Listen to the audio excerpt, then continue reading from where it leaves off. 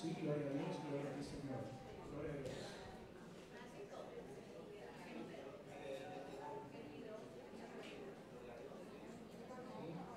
Sí, gloria a Dios.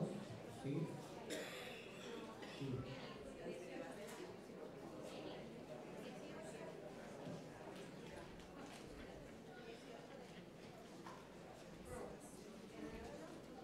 Buenos días. Seamos, Señor.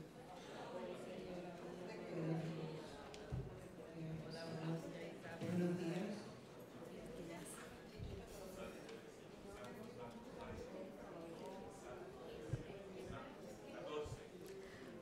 Buenos días tengan todos y sean bienvenidos a esta su comunidad de Santa Bernardita, abriendo siempre puertas para Cristo. Como cristianos católicos, participamos plenamente en la Santa Misa cuando recibimos el cuerpo y la sangre de Cristo. Para poder hacerlo, debemos estar dispuestos a participar, conscientes de no estar en pecado mortal y haber guardado el ayuno una hora antes de comulgar.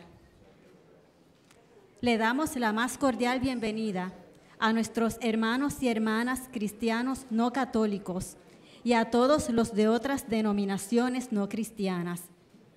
Dado que no pueden acercarse a la mesa de la comunión, le exhortamos a que oren con nosotros y que nos unamos en el Señor Jesús que está presente en cada santa misa. Por favor, tomen un momento y asegúrense que sus celulares estén apagados. Cuarto domingo de Cuaresma, domingo de Letare. Sean todos bienvenidos a la Eucaristía del cuarto domingo de Cuaresma, domingo de Letare, de alegría. Nuestro corazón se regocija, pues estamos un poco más cerca de renovar la dicha de la Pascua. Por eso estamos alegres. Aún más lo estamos porque Dios no cesa de llamarnos a ser criaturas nuevas en su misericordia. La Santa Misa será presidida por Monseñor Wilfredo Peña Moredo. Por favor, pónganse de pie para recibirlo junto a los ministros que participarán en esta sagrada liturgia.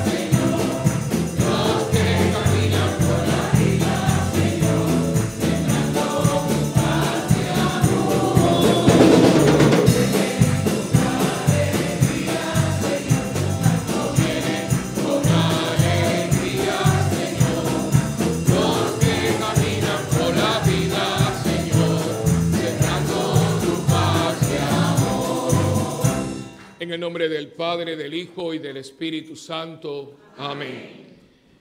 El Dios de la vida, de la esperanza y de la paz esté con ustedes. Hermanos, antes de celebrar estos sagrados misterios, vamos a reconocer nuestros pecados y vamos a pedirle al Señor su perdón y su misericordia.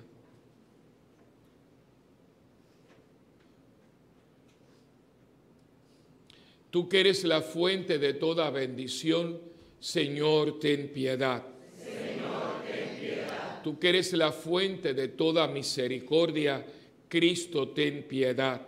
Cristo, ten piedad. Tú que eres la fuente de toda esperanza, Señor, ten piedad. Señor, ten piedad. Dios Todopoderoso, tenga misericordia de nosotros, perdone nuestros pecados y nos lleve a la vida eterna. Oremos. Dios nuestro que reconcilias maravillosamente al género humano por tu palabra hecha carne, te pedimos que el pueblo cristiano se disponga a celebrar las próximas fiestas pascuales con una fe viva y una entrega generosa por nuestro Señor Jesucristo, tu Hijo, que vive y reina contigo en la unidad del Espíritu Santo y es Dios por los siglos de los siglos.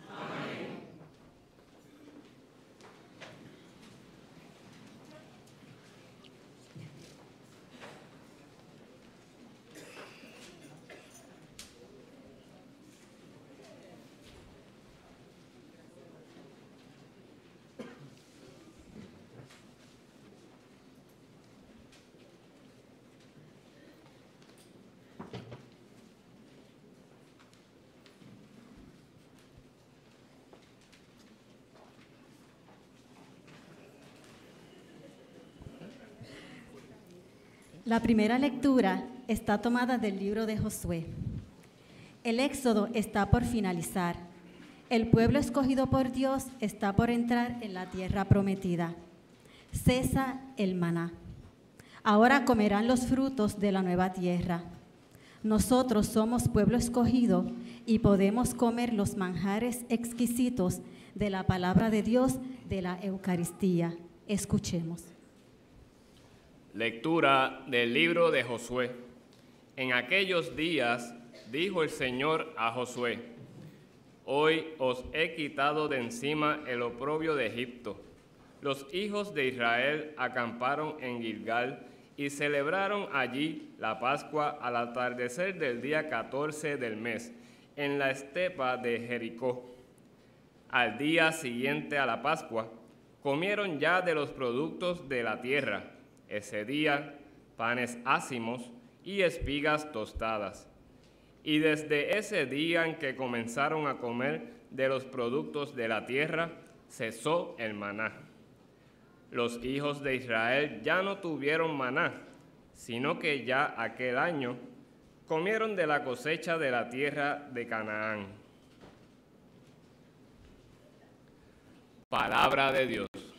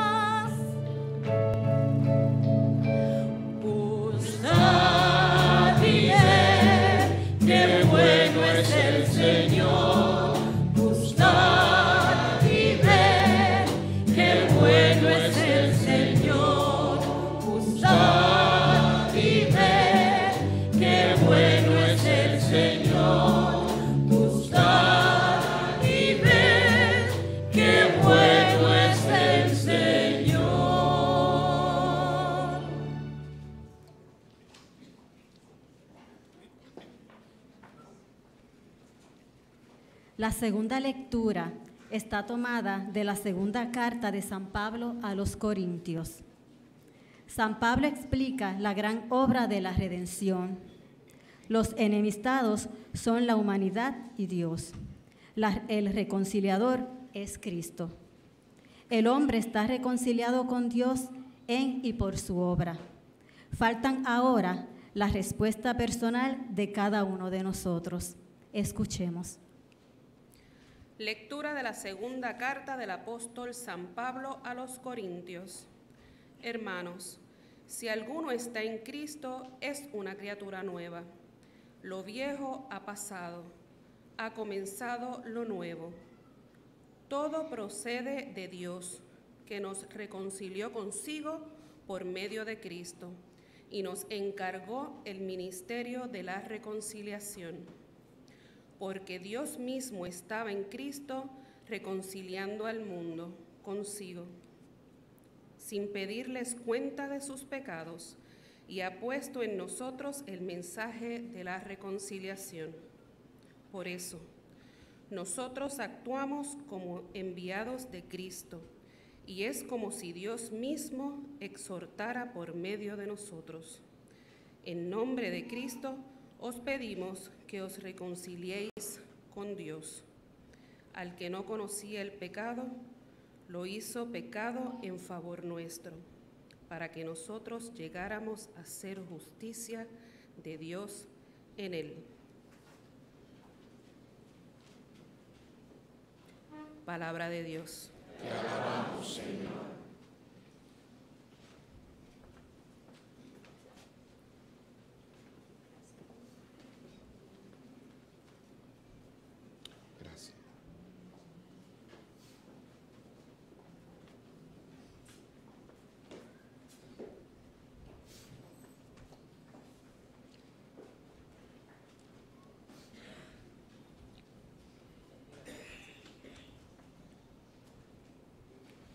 El Santo Evangelio es según San Lucas.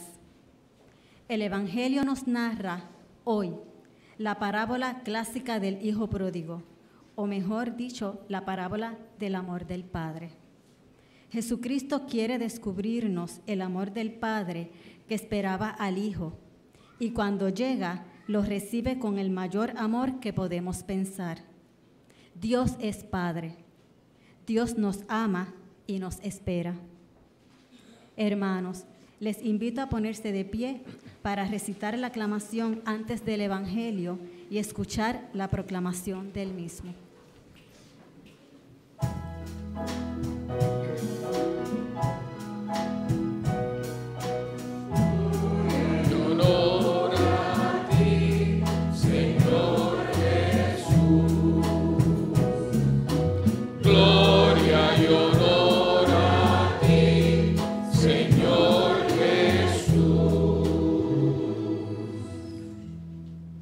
Pondré en camino a donde está mi Padre y le diré, Padre, he pecado contra el cielo y contra ti.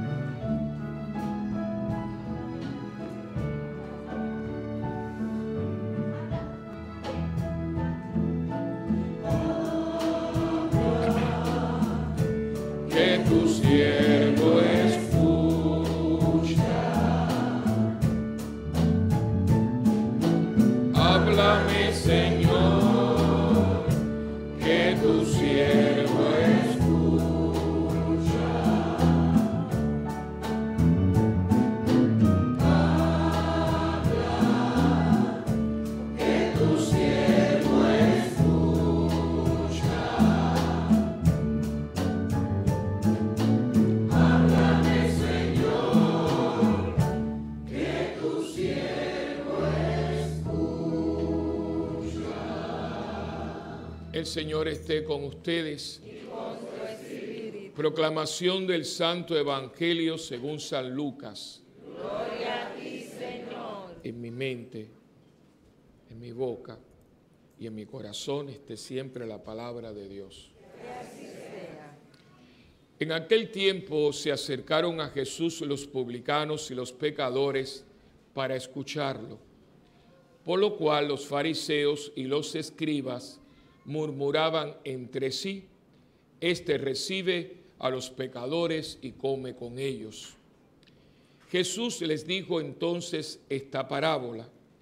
Un hombre tenía dos hijos y el menor de ellos le dijo a su padre, Padre, dame la parte de la herencia que me toca. Y él les repartió los bienes.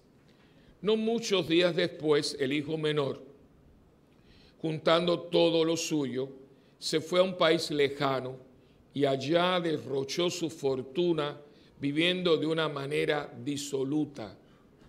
Después de malgastarlo todo, sobrevino en aquella región una gran hambre y él empezó a padecer necesidad. Entonces fue a pedirle trabajo a un habitante de aquel país, el cual lo mandó a sus campos a cuidar cerdos. Tenía ganas de hartarse con las bellotas que comían los cerdos, pero no lo dejaban que se las comiera. Se puso entonces a reflexionar y se dijo, ¿cuántos trabajadores en casa de mi padre tienen pan de sobra y yo aquí me estoy muriendo de hambre? Me levantaré, volveré a mi padre y le diré, Padre, pecado contra el cielo y contra ti, ya no merezco llamarme hijo tuyo, recíbeme como a uno de tus trabajadores. Enseguida se puso en camino hacia la casa de su padre. Estaba todavía lejos cuando su padre lo vio y se enterneció profundamente. Corrió hacia él y echándole los brazos al cuello, lo cubrió de besos.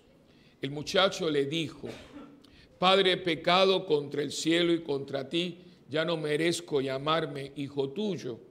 Pero el padre les dijo a sus criados, pronto traigan la túnica más rica y vístansela. Póngale un anillo en el dedo y sandalias en los pies.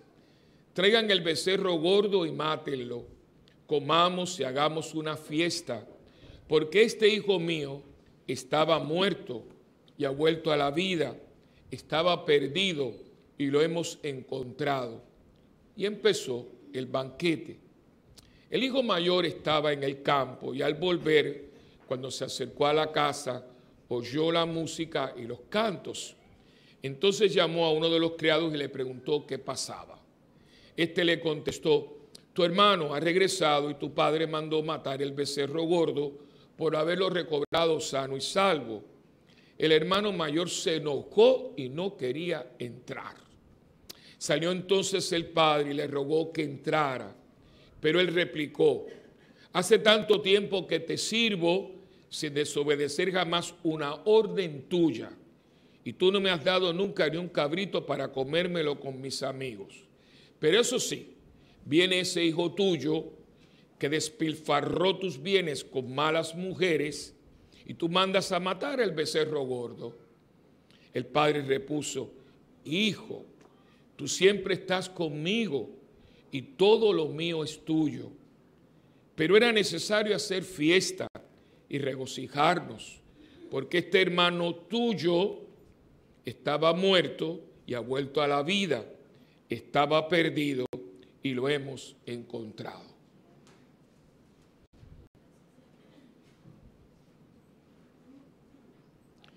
Palabra del Señor.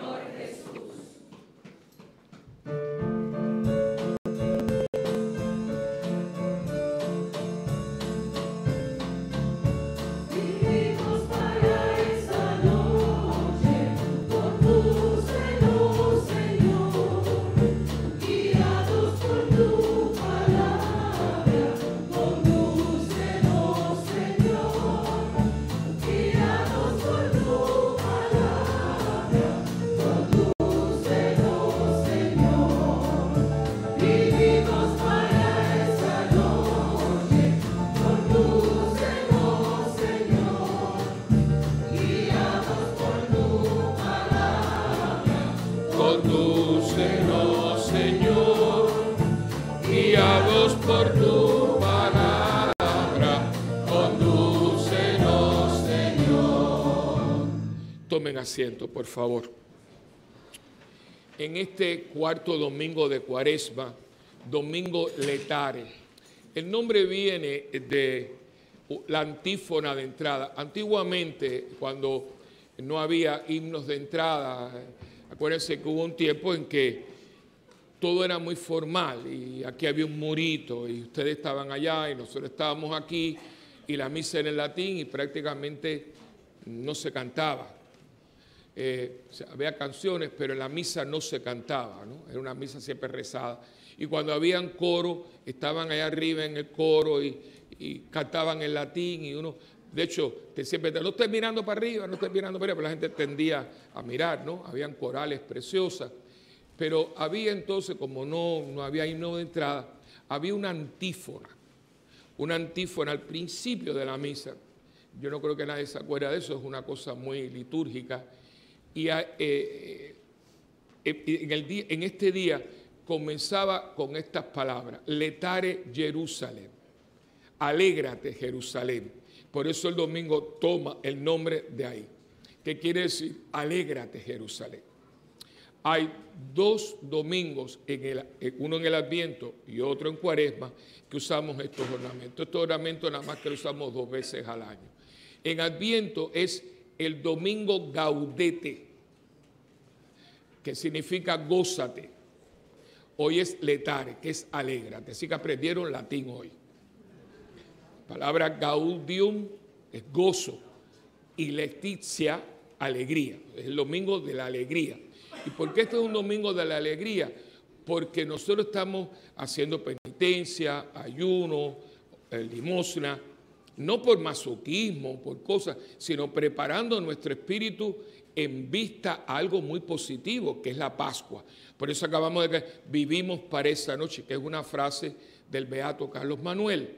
Vivimos para la gran noche, la noche en que nosotros nos liberaron, que se abrieron las puertas del cielo, donde la gente que estaba en las tumbas dormidas pusieron esa noche, esa noche hermosa, que es la noche de la vigilia pascual. Y por eso como diciendo, mira, no se queden tan en cuaresma que olviden por qué se hace la cuaresma, en vista a la Pascua. Y por eso hay como un intermedio, se pusieron flores y es este color que es bonito, pero es un color serio, un color, es un rosado bastante oscuro, ¿no? Ya el domingo que viene volvemos otra vez al violeta. Bueno, mañana ya volvemos al violeta.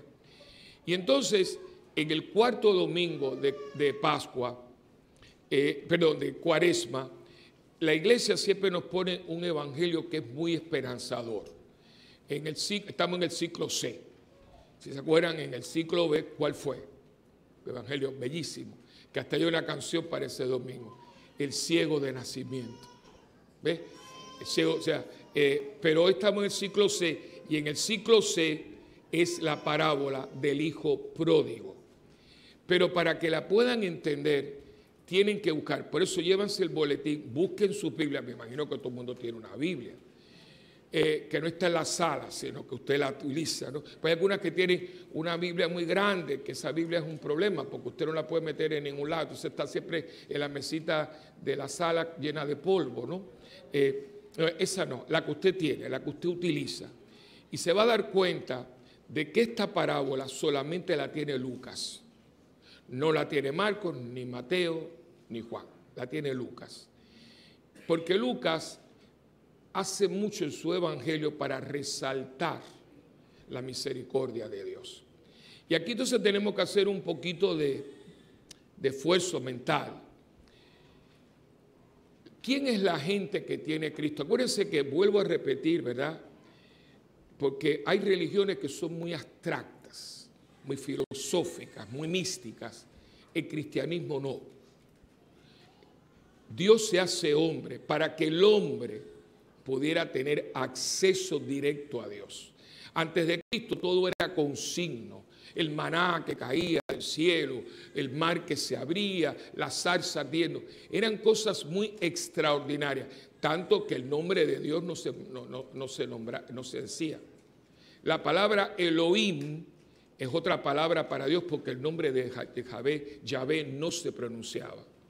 Ni se pronunciaba el nombre de Dios. Y el que veía a Dios, ¿qué le pasaba? Se moría. Entonces llega un momento en que Dios dice, no, pero si yo no hice esta gente para esto, yo quiero que la gente tenga una conexión conmigo, esto es un tú a tú. Y es por eso que Dios se hace hombre para que nosotros podamos, en Cristo Dios se manifiesta. Pero ¿qué pasa? Que el judío no está todavía en esta onda. ¿Cuál es el Dios que tiene el judío? El Dios del castigo. Si haces esto, te bendigo, y si haces esto, que es una religión muy de brum, ¿no? Si fíjense todos los profetas, si obedece, te bendigo, si no obedece, te, te vas al. Una, una religión muy fuerte, y todo es maldición, bendición, y Cristo no viene por ahí. Entonces, tiene que cambiar una mentalidad, y las mentalidades no son fáciles de cambiar. Como esta gente es analfabeta, aquí el porciento de personas que sabían leer y escribir eran un 1%, 2%, no más. Las clases sacerdotales, no todo el mundo, ¿eh? Los fariseos y los escribas. Ya de ahí otra gente en el templo no sabía. Eh, rey- la, parte de la corte, la familia del rey, más nadie. Gente, quiero que sepa, gente riquísima que no sabía leer ni escribir. Y eso no es extraño, todavía en Puerto Rico hay gente que no sabe leer y escribir. Claro, gracias a Dios han ido disminuyendo, pero todavía, todavía el, al- el ana- analfabetismo en el mundo es enorme. Si ustedes cogen las cifras de la ONU, esto es horrible. Por ejemplo, Haití. Haití más de la mitad de la población no sabe leer y escribir. Entonces, ¿cómo esta gente se educaba? Escuchando. Es lo que se llama tradición oral. Tú me haces una historia y entonces de ahí yo me guío con eso. Yo tengo una experiencia de las muchas, muchas que Dios me ha regalado, porque como yo voy a América Latina y, yo no voy solamente a irme a un hotel, yo voy con la gente, me voy para a veces el interior de los países. Y yo he visto algo que ustedes nada más que han visto en películas, pero lo he visto en real. Eh, los escribanos. ¿Saben quiénes son los escribanos? Son una gente que está con una mesita, con un banquito en el mercado, en una parte del mercado. Entonces vienen los indígenas que no saben leer y escribir, quieren mandarle una carta a su tía que está en Estados Unidos. Entonces vienen, tienen a veces una máquina de escribir de esas viejucas, de taca, taca, taca.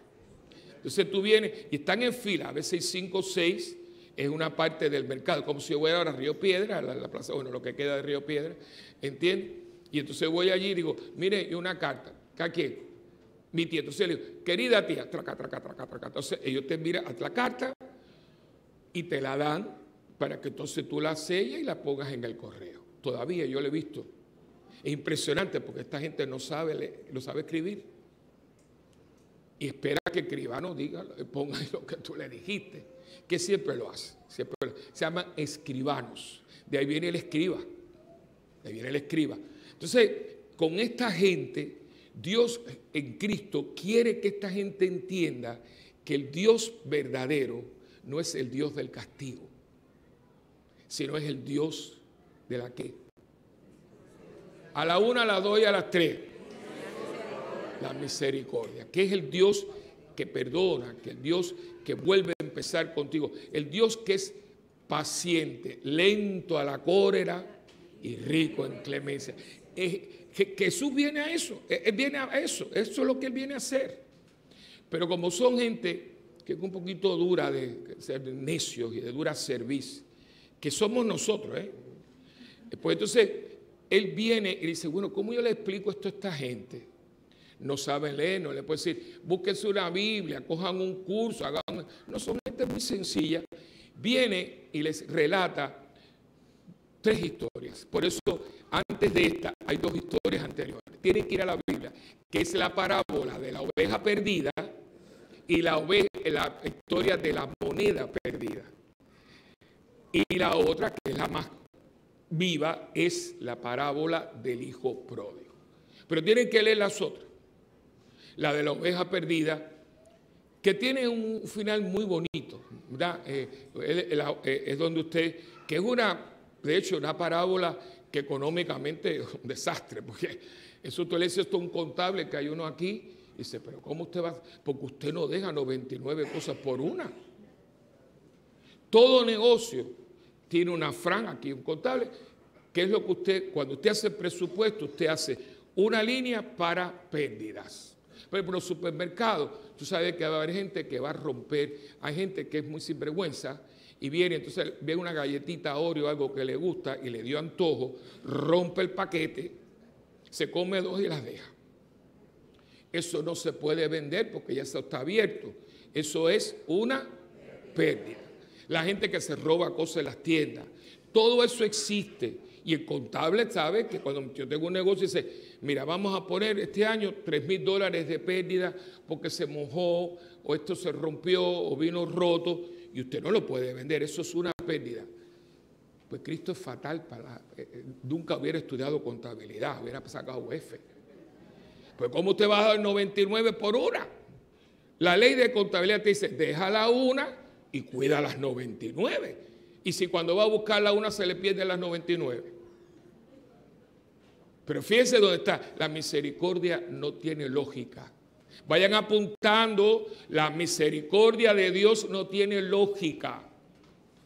No lleva cuenta de los pecados.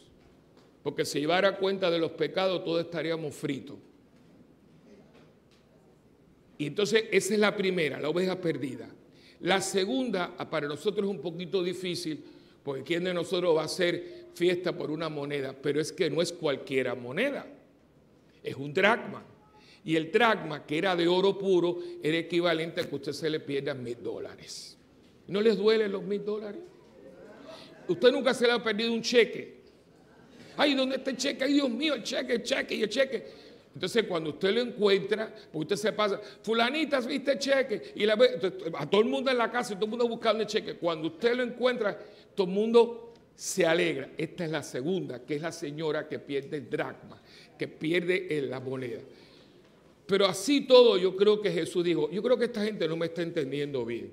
Entonces así y coge y busca un ejemplo, que eso es para todo hasta el día de hoy. Un hombre tiene dos hijos. Vamos a empezar ahora por ahí, estos dos personajes, ¿no? Este hombre es rico, rico millonario. ¿Por qué lo sabemos? Por lo que da. En aquel tiempo en que yo distribuya herencia, fíjate que la herencia se distribuye entre los dos. Porque cuando este jovencito, eh, que es muy frívolo, es un pistolita, él viene y dice, yo quiero mi herencia, que es un descarado porque la herencia no es suya, es de su papá. Pero bueno, el papá dice ahí el texto, tienen que leerlo muy detenidamente, dice, que repartió la herencia entre ellos. O sea, que al otro que se queda también le tocó su parte. Porque usted no puede repartir una herencia, darle a uno un cosa y al otro. Aunque tú no la uses, esto es lo que te tocó a ti. Por eso lo vemos que está en el campo, porque está supervisando sus tierras, su cosa. y este muchachito, que es una persona muy, muy frívola, es, es ese hijo que usted tiene, que usted le ha dado de todo y que se cree que se lo merece todo. Ustedes no lo conocen. Eso está, mira, mon- montón, pila, burujón, puñado. Eso está por. Ese, ese monstruito que usted ha criado, ¿ve? Que como siempre le das y le das y le das, él se cree que se lo merece todo. ¿Qué pasa? Que un día es tan malcriado, tan autosuficiente, tan pedante y tan egocéntrico que él se cree que todo eso es suyo. Cuando todo eso es de su papá. Que en su generosidad se lo ha hecho creer que es suyo. Porque yo tengo un cuarto en mi casa, tengo 15 años, un cuarto con todo lo que yo puedo soñar. Pero ¿cómo es que yo tengo todo eso? Porque alguien me lo compró. Tengo un carro, me dan dinero para la gasolina, me dan dinero los fines de semana para que saque mi novia. O sea, yo tengo una novia, pero la mantiene mi papá. Eh, Es así. Antiguamente, hasta que tú no trabajes, tú no puedes tener novia. Lo llevamos, entonces, claro, esta gente es una cosa psicológica. Yo creo un momento dado que yo me lo merezco todo. Este muchacho que está, el primero, el más jovencito, es muy común hoy en día. Son estos jóvenes muy buenos, pero que nadie nunca le ha exigido ninguna responsabilidad. Se levantan a la hora que les da la gana, especialmente los varones, entran, etcétera. Nadie les dice nada. Se gradúan de la universidad y le compran un carro nuevo. A veces tienen un carro más nuevo que el papá. Porque el niño no puede ir en, ¿sabes? El transporte está muy mal, el niño no puede ir en guagua. Porque si coge una guagua se traumatiza. ¿Ve? No puede. Entonces todo es, él no puede caminar de aquí a la panadería, no, de aquí a la pa- Porque usted le dice, mira, vete a buscarme una libre pan. Sí, dame las llaves. No, mijo, ve, de- a pie. No ve que le está pidiendo que vaya al Himalaya, ¿entiende? O sea, entonces no, o sea, e- ese- ese- esa persona que tú estás pensando en ella, esa, esa gente, déjeme decirles algo, un día te la va a dejar en la mano. El día que ellos tengan todo lo que ellos han querido sacar de ti, tú pasas a segundo plano. Y si ustedes no me creen, desen un paseíto por un nursing home. No todo el mundo que está ahí tiene que estar ahí. Visítenlos. Ahí hay un montón. Más del 80% podía estar en su casa. Porque estuvieron con nosotros hasta hace 30, 40 años. Nuestros viejos morían en casa. Pero ahora molestan, huelen a orines, qué cosa. Ay, papá, pero ven acá, papá, ¿qué? Que a veces lo sacan por ahí, le hacen un favor porque lo van a sacar. Entonces el pobre viejito, la pobre viejita, se le ensucia la cosa. Mamá, te volviste a embarrar. Pero tú sabes cuántas veces yo te limpié que te vestía de blanco y de pronto tú te habías comido demasiado eh, eh, eh, baby food de ciruela. Y de pronto hay una peste que es horrible. Y es que tú te hiciste caca, papo. Y tú ves con qué paciencia, cosa que ahora yo no tengo. Cuidado con el monstruo ese, porque cuando no te necesite, ni existes. Pasa un día y hoy tenemos celulares, no hay excusa.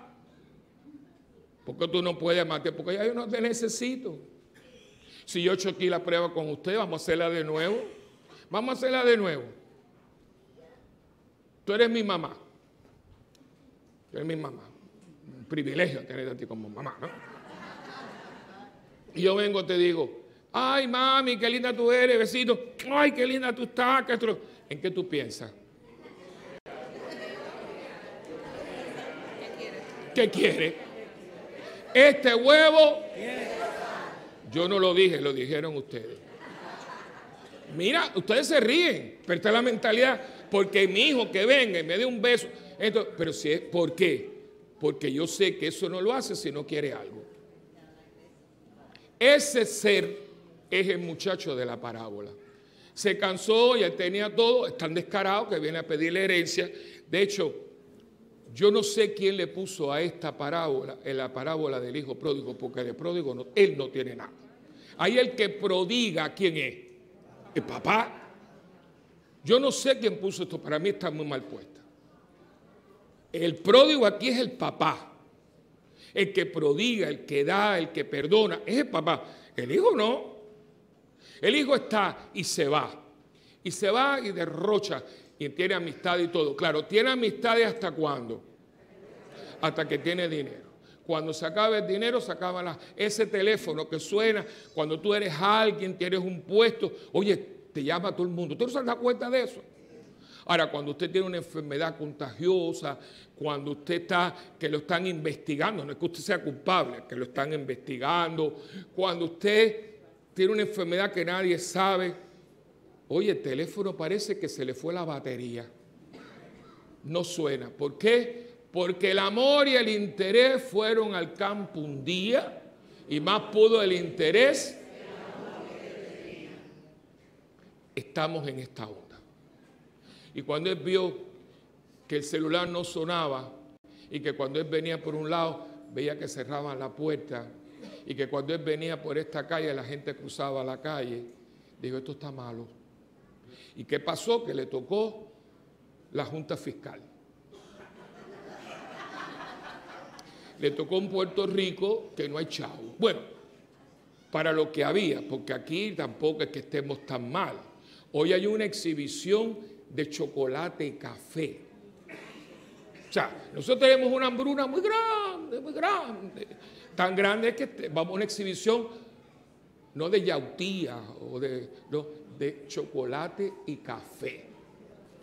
Y mientras la gente está comiendo de un camión de basura en Venezuela que está al lado, nosotros estamos en una exhibición de chocolate y café. ¿Qué hambruna hay en Puerto Rico, Dios mío? Eso se lo dejo ahí. Aquí hay mucho dinero, mucho dinero. Lo que pasa es que está muy escondido y la gente es muy zorra, pero aquí hay dinero. Aquí hay dinero. Que Yo lo sé. Lo que pasa es que aquí hay gente zorra, zorra y vieja. Zorro viejo. Ay, no, pero después yo sé, yo sé. Yo he cogido aquí a gente en cada una. Lo que pasa es que yo sigo porque ¿para qué? ¿Para qué mencionar el calendario si no tiene hojas? Y entonces, pues, viene la hambruna, él, ve que no, no, no da pie con bola y busca trabajo. Y cuando no hay trabajo, cualquier trabajo vale la pena.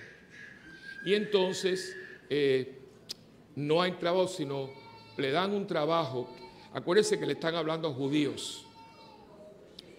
Y entonces, Jesús, pues Jesús, Jesús mete el dedo, ¿eh? Dice, el trabajo que le dieron fue cuidar puercos. Si hay algo que un judío, judío, judío, ¿eh? no resiste ni la palabra porque te contamina, es el cerdo.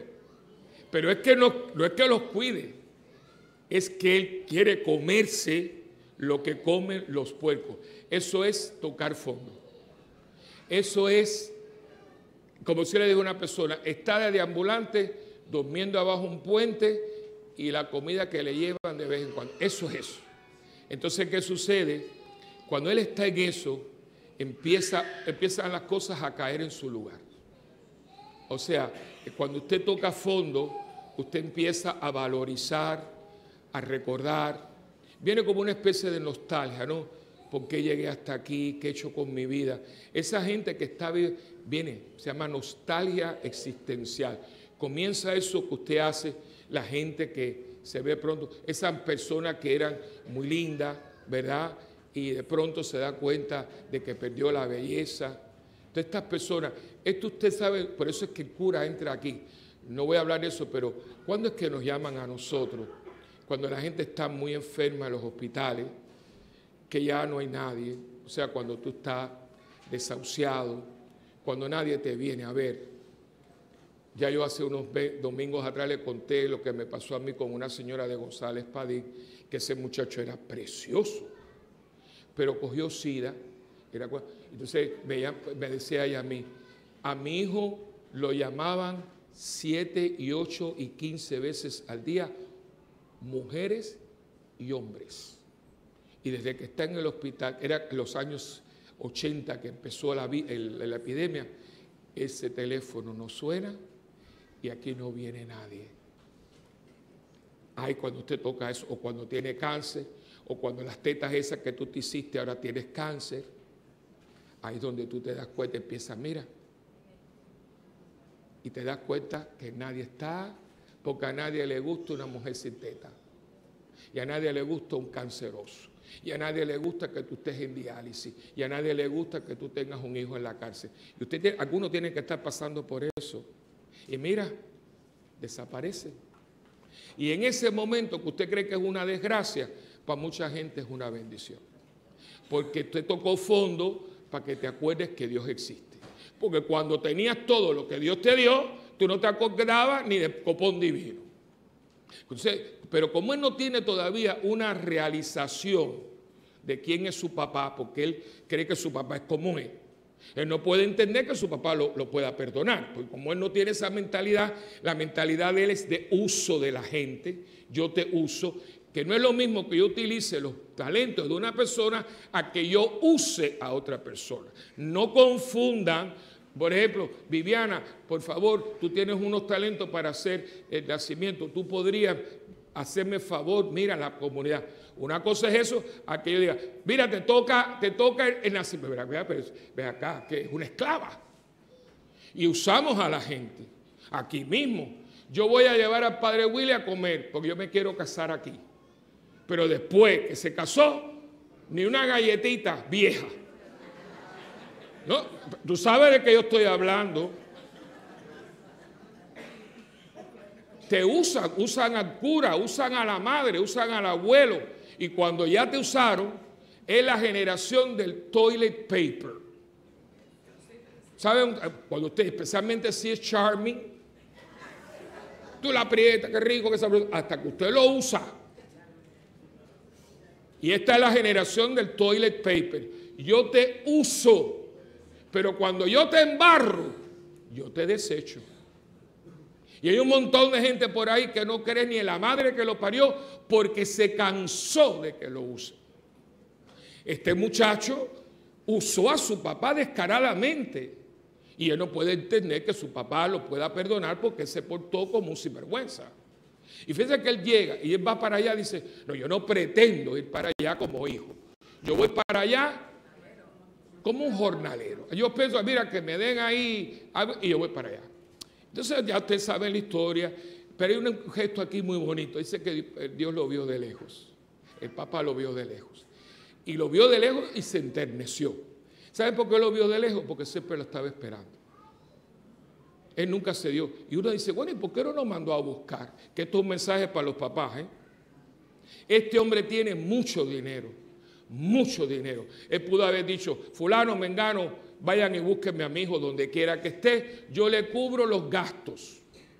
¿Y por qué no lo hizo? Porque tenía que aprender la lección. Y muchos de ustedes no han dejado que sus hijos aprendan la lección. Se fueron de la casa, pero vienen a almorzar lavan la ropa en la casa, la plancha, pero él no se fue. Si se fue, se fue. Ay, pero eso es muy duro. No, eso no es duro, eso fue una decisión que él tomó. Y usted tiene que aceptarla y respetarla. Y seguir viviendo, porque hay padres que se tiran a morir. Se fue mi hijo, pero espera acá, él tiene cáncer, tiene lepra, se está muriendo, no, está, está pachangueando por ahí. Entonces, ¿por qué yo voy a dejar? Que yo hice el retiro, que algunos no vinieron, el retiro que era de padres con que, porque ahí se trató esto, porque aquí yo tengo gente que sus hijos han tomado unas decisiones y se han tirado a morir. Los hijos no es que estén muriendo, están, están haciendo lo que les da la gana, porque usted no puede vivir la vida de su hijo. Y si yo soy tu hijo y yo decido irme de la casa, usted tiene que dejarme que yo confronte las consecuencias de esa decisión. Dejen a sus hijos crecer. No los dejan crecer por una lástima que no hay nada que destruya más a un ser humano que la lástima. ¿Qué, ¿Cómo se llama la lástima en Puerto Rico? La, lástima en Puerto Rico tiene nombre. Ah, ¿Cómo es? Nombre, no, se empieza con B. A ver, a la una y a las dos, a las tres.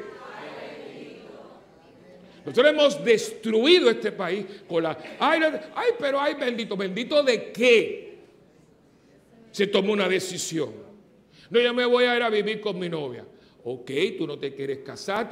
No, yo me quiero ir a vivir con mi novia. Ok.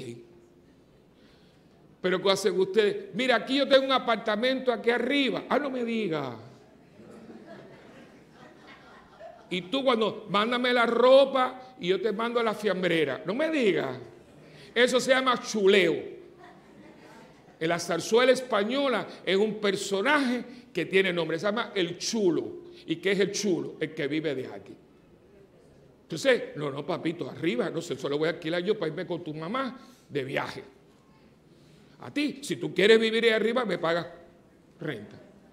No, porque él viene, tú sabes, ay, bendito, pero ¿qué le pasa a él? No tiene pierna, no tiene brazo, no trabaja. Si tiene una educación que tú le has pagado y es un vago.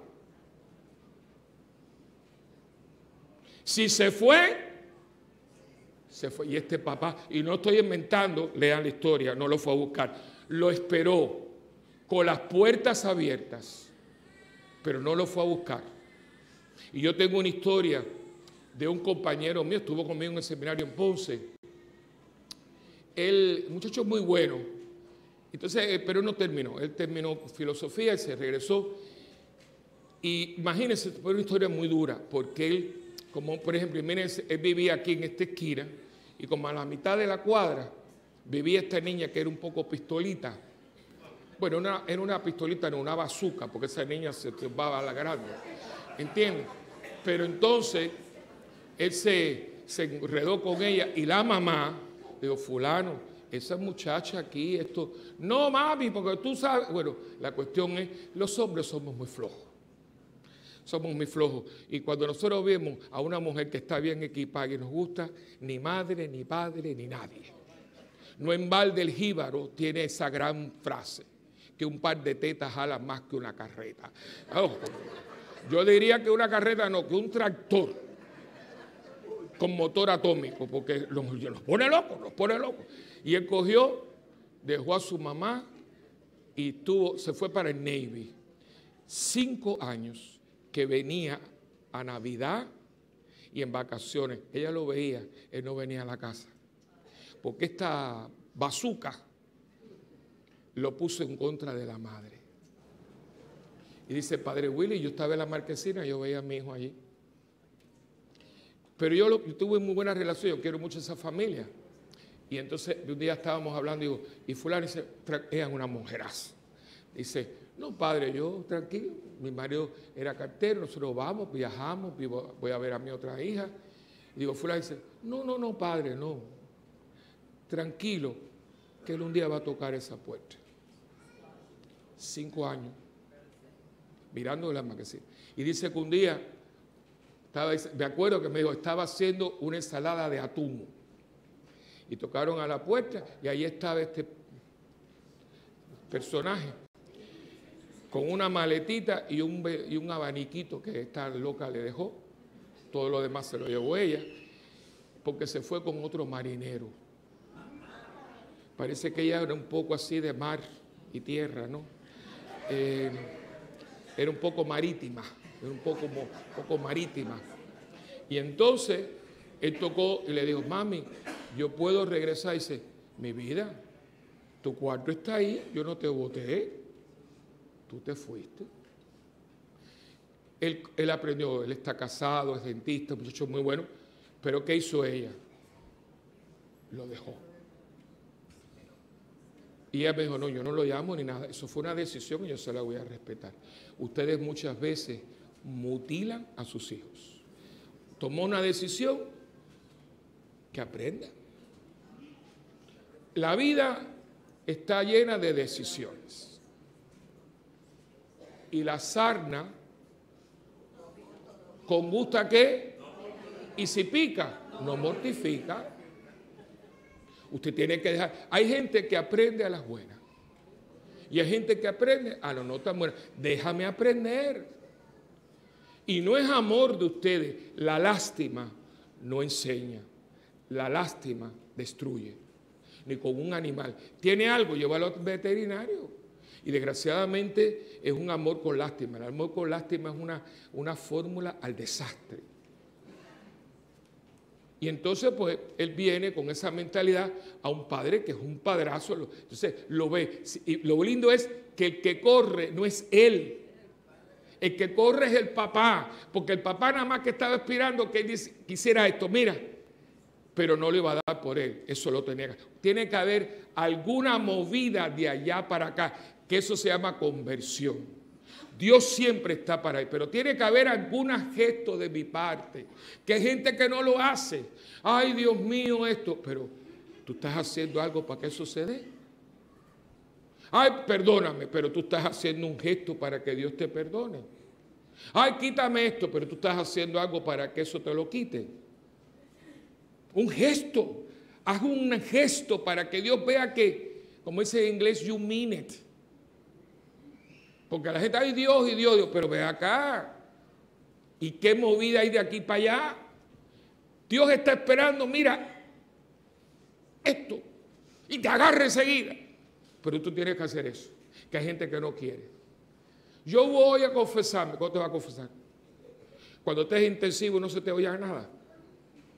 Que quiero hacer una aclaración. Si usted está en intensivo y no se le oye, yo tengo, si voy a confesarlo, que darle la confesión bajo condición, que no es lo mismo, mamita, porque la confesión auricular, yo te estoy escuchando, me arrepiento, hice barbaridades, perdón Dios mío, yo te, y yo te doy la absolución. Pero si yo no te oigo, yo voy a suponer que tú estás arrepentido. Y esa con- confesión es bajo condición de que tú estés arrepentido, no es lo mismo.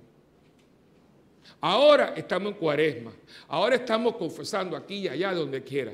Hágalo ahora. Porque usted puede salir por esa puerta y le dan un- una apoplejía y yo no te oigo, porque si usted queda, yo no, yo no sé. Es ahora. Es llamar a la gente que tienes que llamar. Ahora. Y si eres mexicano, ahorita. Pero es en este momento. Yo tengo que llamar a mi hermana. ¿Cuándo la va a llamar? Cuando se murió. Después vienen los espectáculos. ¡Ay! Los muertos ni oyen ni sienten. No es ahí. Si le compras una caja de 10 mil pesos, como si le ponen una caja de zapatos, ella no sé por qué no hay nada allá. ¿Y cuánta gente aquí sentada hoy tiene que hacer ese gesto que tú sabes cuál es y no lo has hecho? Él hizo un pequeño gesto y papá Dios vino, le voy a poner, papá Dios vino corriendo. Y no le vino a reclamar, y ni tú eres un pecador. No, no, no, nada. Fíjate que viene con un, él tiene como, como una, un libretito aprendido. Cuando yo llegue, yo le voy a decir, padre, el papá no lo deja. De hecho, él lo, él lo ensaya y después empieza a decírselo. El padre lo corta y dice, traigan, vengan, vistan lo que dañe, lo que huela a rayo encendido, huela a puerco. Porque es cero lo que tiene, ahí no hay nada, ahí no tienen ducha. Si me venía viendo. Pero tú le das a una persona una túnica nueva con un olor a, a- a puerco viejo. Anillo, y no era un anillo chino, era un anillo. En aquel tiempo los chinos todavía no hacen anillo, ¿entiendes? Eh, todo es rico, o sea, el becerro engordado. Es un tremendo festín. Y todo va bien. Y empieza la fiesta del jaleo. Y entra el segundo personaje. Que si yo hiciera una obra de teatro, ya yo tengo la persona que iba a ser este personaje. Que no creo que tenía que actuar mucho. Este hombre es sumamente desagradable. Él viene con, es una persona muy arrogante, muy prepotente, de esta gente que se cree que todo el mundo está ahí a su disposición. Tienen que conocer a alguien, o a lo mejor ese es usted. La gente que siempre está, ese más o menos somos nosotros. ¿ve? Los que estamos aquí adentro y juzgamos a los que están afuera. No nos damos cuenta que todo esto es gracia. Si yo no soy narcotraficante, es por gracia de Dios. Si yo a mí yo no soy alcohólico, es una gracia de Dios. Si yo no tengo mujeres, una gracia de Dios. Si yo no me gustan los hombres y me acuesto con ellos, es una gracia de Dios. Si yo no estoy metido en corrupción, es una, porque toda esa gente no es más mala que yo. Es que tuvieron una debilidad y cayeron en ella. Chicas, méritos míos no tengo ninguno. Yo estoy consciente de quién uno es, ¿no? Entonces, pero en vez de yo decir, ay, gracias, Dios mío, yo no eh, eh, fui adúltero. En vez de decir, ay, pobrecita, ah, no, no. Mira esa, la adúltera, mira ese divorciado. Pero nosotros pasamos la vida juzgando a la gente. Este es este. ¿Ves? Llegó ese hijo tuyo. Y que el papá se la come cuando dice, y llegó tu hermano. Porque la sangre que corre por las venas de él es mía, igual que corre por las tuyas. Pero no lo ve. Entonces él viene con esa jactancia. Y yo me imagino ese día este padre padre tiene que haberse sentido muy mal, porque los dos hijos lo quieren por interés. Aquel porque ya no tiene ni que comer y no tiene donde caerse muerto.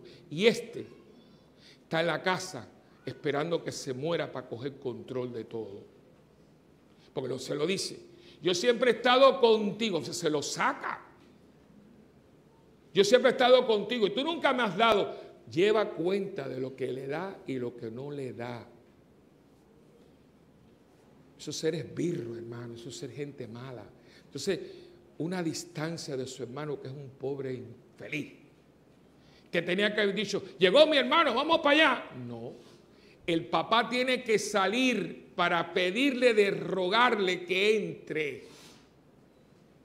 Y yo no sé si ustedes se han dado cuenta que de las tres parábolas, esta es la única que no tiene un final. Esta parábola no tiene final. Porque la de la oveja, encuentran la oveja, la cogen, ¡ay, qué maravilla! La otra, encontraron el cheque. Pero aquí el papá le habla, pero no sabemos qué pasó. Y yo lo pregunté ahorita, vamos a ver, ¿quiénes de ustedes, levante la mano, quién de ustedes cree que entró? Levante la mano el que cree que entró. Uno, dos, tres, cuatro, cinco, seis. ¿Quién de ustedes cree que no entró? No, hermano, este hombre es muy soberbio. Yo, en mi opinión, yo respeto a los que son más, quizás más misericordiosos. Porque el cambio, esto no es una película, esto es una realidad. Y la gente soberbia se muere antes de dar su brazo a torcer. Ustedes los conocen. Es esa persona que está, que en este momento está aquí sentada y sabe que lo que yo estoy diciendo es verdad y se muere antes de decir es verdad. Se muere. Se llama soberbia y el mundo está lleno de esta gente. Una persona que dice, yo tengo que cambiar mi vida, yo no puedo, pero se muere. Son la gente que tiene mucho de diablo y poco de Dios. Este es el hermanito. Qué ideología. Es tan, y es una persona muy aberrada, porque él aquí hay una parte que a mí siempre me ha llamado la atención, porque cuando están hablando del muchacho, él dice que él llegó y malgastó la, la- la herencia. Pero ahí, ahí ve acá, ahí dice, habla de mujeres. Dice que él tuvo mujeres, hablando del muchacho. No, no dice eso, léalo, no lo dice. Dice que él cogió el dinero y lo despilfarró. Pero muy pudo haber sido en juego. Se metió en Las Vegas y lo despilfarró todo. O pudo haberse metido en droga o en alcohol. ¿Quién es el que habla de las mujeres? Que seguro tenía ganas, pero no lo hizo. Lo que pasa es que estaba esa gente que no, no, no mete mano, pero lo piensa. Son la gente que no va a prostíbulo, pero ve pornografía. Este es un hombre muy, muy, muy complicadito. Ahí viene ese hijo tuyo que se fue con mujeres. ¿De dónde tú sacas que fue con mujeres? Yo creo que el que quería irse con mujeres eras tú. Y tú estás proyectándole a tu hermano lo que a lo mejor tú tienes, mira, en el subconsciente. No le digas a tu hermano cosas que tu hermano no ha hecho. Pero muchas veces proyectamos al prójimo lo que nosotros quisiéramos hacer. ¿Ves? Entonces este hombre, pero aparece, y quiero que sepa que muy pocos púlpitos se habla de este. Siempre todo el mundo le mete mano al primero. Porque no ves que es el más visible, el más loquito. Pero fíjense que el primero no es malo. Este es malo. Este es cruel. Y el papá sale y le dijo, mío, si todo lo que yo tengo es tuyo, pero lo que pasa es que tu hermano estaba perdido, lo hemos encontrado. Y no dice nada. No dice, es verdad, papá. Ahí se quedó. Y el evangelista no dice más nada. Yo creo que él no entra. Como hay gente que está en las iglesias, comulgan, se sientan y todo, pero no cambian su manera de ser. Que están en los coros y todo lo que han cantado nunca lo han sentido. No, eh, pero es así. Pianista que toca mucho, pero después tú, sabes las historias. Pero ¿qué tú hacías ahí? A ti nunca te tocó aquello de, pan de vida o no te tocó camina conmigo Virgen María. No. Porque cogen por esa puerta y si te veo no te conozco. ¿Y qué tú hacías ahí? O sea, cuando tú cantabas, eh, eh, cámbiame a mí, Señor, tú nada de eso te tocó. Tú eras monaguillo y a ti eso tampoco te tocó. Yo conozco gente, cada vez que veo uno, por ahí uno perdido, un traficante, yo fui monaguillo. Digo, ¿qué tú hiciste en el altar? Digo, porque a ti no se te pegó nada. Ni la vela que tú encendías. Ustedes se ríen de estas cosas, pero es que llevamos años en este pugilete. Estuviste aquí, quisiste aquí. No te tocó nada que tú tenías puesto. Este es el hijo mayor. Está debajo del techo, tiene a su padre y nunca tomó el trabajo para conocer a su padre. Estaba al lado de él, calculando los días y las horas cuando se va a morir este viejo. Porque le llevaba cuenta hasta de lo que no le había dado. Y se lo dice, ni un cabrito. Miren, miren qué, qué, qué pusilánime es este hombre. Y ustedes saben qué? Que de los dos tenemos nosotros. De los dos tenemos nosotros. Del loquito este y del otro. Y hoy el mensaje no es que seamos así. Porque el Señor con estos dos individuos le está diciendo a la iglesia, esto es palabra para siempre. Iglesia, ¿dónde estás? ¿Qué tienes de más? Hay gente que tiene más de uno, del otro, y hay gente que tiene un 50-50. Pero el paisaje final es, si haces un pequeño gesto, Dios viene corriendo hacia ti. ¿Qué tú esperas? Porque ayer la misión tenía la respuesta de ahora. Lo único que Dios está esperando es que tú regreses a casa y que los que están en la casa sepan en qué casa están. Amén.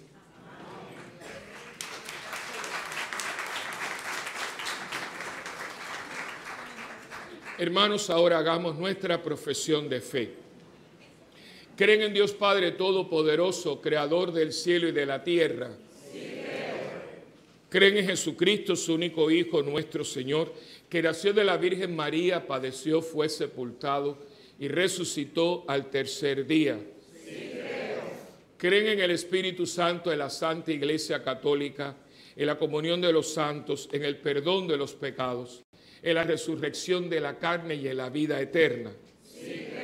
Pues esta es nuestra fe que nos gloriamos de profesar en Jesucristo nuestro Señor. Amén. Ahora vamos a presentarle al Señor nuestras peticiones.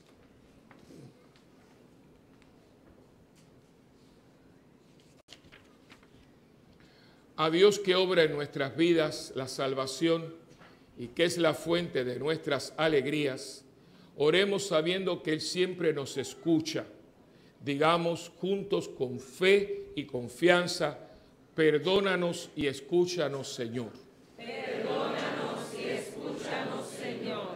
Por la iglesia para que dispense con generosidad el perdón que viene de Dios, oremos al Señor. Perdónanos y escúchanos, Señor. Por el Papa, los obispos y agentes de pastoral, para que Dios que hace nuevas todas las cosas, renueve en sus vidas la alegría, el deseo de instruir y de ser misericordiosos, oremos al Señor. Por los que se dedican a la oración, para que por ella transmitan fuerza, ilusión y valentía a los que comparten con Cristo la cruz del dolor, la enfermedad o la marginación, oremos al Señor. Perdónanos y escúchanos, Señor. Por cuantos viven marginados y carecen de lo necesario para vivir con dignidad, y por los que viven en la abundancia, para que a todos se les manifieste el Evangelio, fuente de la única y verdadera riqueza, oremos al Señor. Perdónanos y escúchanos, Señor. Por las mujeres que son explotadas y por aquellos que las juzgan y condenan sin misericordia, para que Jesús se les manifieste y les dé su salvación, oremos al Señor por nosotros y por nuestras familias y comunidades, para que este tiempo de cuaresma obre en nuestras vidas la conversión del corazón, oremos al Señor. Y escúchanos, Señor. Ahora hagamos un momento de silencio interior y pidamos por nuestras intenciones particulares.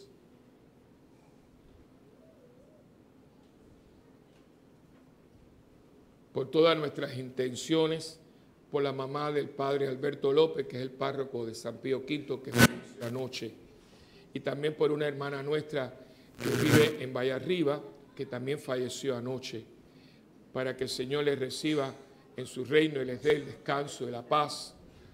Oremos al Señor. Perdona, Señor, los pecados de tu pueblo, danos tu misericordia y haz que unidos a Cristo, que dio su vida por nuestra salvación, vivamos como testigos de su amor por Jesucristo nuestro Señor. Ahora venimos al momento de la ofrenda y le pedimos a Dios que nos reciba. Aprovechen estos días, son días muy bonitos eh, y sobre todo días que uno va profundizando, ¿no? ¿Qué es lo que Dios quiere de nosotros? Eh, yo creo que muchas veces, como que hemos, en vez de nosotros ir para allá, hemos traído a Dios para acá. Y yo creo que a veces creemos que Dios quiere de nosotros cosas. No, Dios no quiere cosas mías, Dios me quiere a mí. Con las cosas que yo hago. Se llama oblación de uno mismo. Y yo creo que eso a la iglesia se le chispoteó en algún momento. Y vemos tanta gente que, que no acaba de, componer esto, ¿no? Eh, y usamos a Dios. Hablando de usar gente, usamos a Dios. ¿Cuánta gente? Y son miles que vienen, yo siempre hablo con milagros, vienen buscando oración, que si mi hijo, y se les da lo que pidieron y tú no las ves más nunca. O sea, yo aquí en la parroquia tengo gente que Dios le hizo milagros. Se pidió por esto y no tuvieron la delicadeza de pararse un día, Padre, permiso, decir, gracias a todos y a Dios por el mundo de hoy. El mundo que nos usa y nos ha creado una conciencia una de usar a las cosas, inclusive a Dios. Y eso no es de Dios, hermano. Dios nos quiere a nosotros con todo lo que uno tiene y es mi tiempo. No tengo tiempo. No, yo creo que lo que tú no tienes es organizado tu tiempo. Pero ¿cuánto tiempo nosotros no perdemos, hermano? Hay gente que yo tengo mi teléfono, sabe que yo tengo un problema con estas cosas, pero yo uso el teléfono para hablar. Yo, yo veo que hay gente que habla, y habla. Yo digo, hola, ¿qué tal? ¿Cómo está? ¿Qué tal? Pim, pum, pam, ya se acabó. Eso es para hablar con la gente. Es, o sea, gente está ahí todo el, gente con el YouTube ese, que si yo fui a, ¿qué tengo que decirle a yo a la gente que yo estoy comiendo un sándwich? ¿Qué le importa a la gente que yo estoy comiendo un sándwich? Y hasta, hasta le sacan fotografía al sándwich. Pero que una, usted se ríe porque a lo mejor usted lo ha hecho. O sea, ¿entiende? Que eso es ridículo. ¿A quién le importa el sangre que yo me estoy comiendo, hijo? Yo me imagino que a lo mejor una fotografía, mira, es que son cosas ridículas, es que son cosas ridículas. En vez de estar eso, usted haciendo un, mirarle un sándwich a otro que no está comiendo. Y así estamos, pero estamos como loquitos. Y está, hay gente que tú los ves, tiqui, tiqui, tiqui, tiqui. Chicos, suelte su rato y hable con tu abuelita. Ay, no, es que yo, eh, pero tú no, eh, no van a ver a la abuela. Y resulta que fue la abuela la que regaló por Navidad el teléfono. Nosotros estamos malitos, hermano, hay que resolver esto. Porque yo no tengo tiempo, no, lo que pasa es que tú tienes el tiempo muy disparatado y ese tiempo no está organizado. Y por eso los que van ahí no están y los que no están ahí van ahí. Ese jaleo que tiene usted mi, tiempo, mis talentos. Ay, Dios mío, hermano, como hay gente con talentos hoy. Esto, este, este es cantante. Este muchacho es cibernético. Este también está en el conservatorio. Los muchachos, ayer estaba mirando un programa en selección que se llama Prodigios. Son niños. Pero esos niños, bueno, hay uno que toca un piano que, que es una cosa impresionante. Es un niño de 10 años. Un virtuoso, una cosa increíble. La otra es una bailarina, ¿vale? Niños, porque es, un- es una generación fuera de lo normal. Pero yo él quisiera ver si ese niño toca piano en alguna parroquia. Quiere ser famoso. ¿Para qué? Otros tienen voces. Ya que, no, yo quiero ser famoso. ¿Para qué? Para tener dinero. Si todos los grandes cantantes, como los grandes deportistas, ganan millones y se mueren pobres. Porque mientras más ganan, más gastan. Relojes de no sé cuánto, el carro de no sé qué, cuatro mujeres al retortero. Y todo el mundo está porque, mira, chupa, chupa. El día que no te dejan jugar pelota se acabó. Y la gente es tan bruta que no aprende. Porque poquito, mira, hazlo, pero váyate y salpica. No, yo no puedo, yo no puedo. Di la verdad que no quieres. Y yo creo que son mis talentos, mi tiempo y mi tesoro. Usted no pueda dar una, cierta... para mantener esto, para que la gente llegue. Un país que tiene hoy una exhibición de café y chocolate. No, hermanito, usted me perdona, pero aquí hay un cortocircuito que yo no lo entiendo. Porque lo que pasa es que no estamos convertidos. Porque cuando usted se convierte, esto va aquí, esto va aquí y esto va aquí. Y entonces la vida de uno empieza a coger otro ritmo. Y usted empieza a saber que Dios es tu Padre. Yo se lo digo porque estamos en cuaresma. Y el ortodoxista tiene que ajustar los bracers. Porque si no te los ajustan, esos son cuatro alambres ahí al garete. Y yo creo que cuaresma es un tiempo, usted quiere que no come carne, eso no es más que eso. Yo tengo que hacer una introspección donde yo estoy en mi relación con Dios. Porque el tiempo se nos está acabando.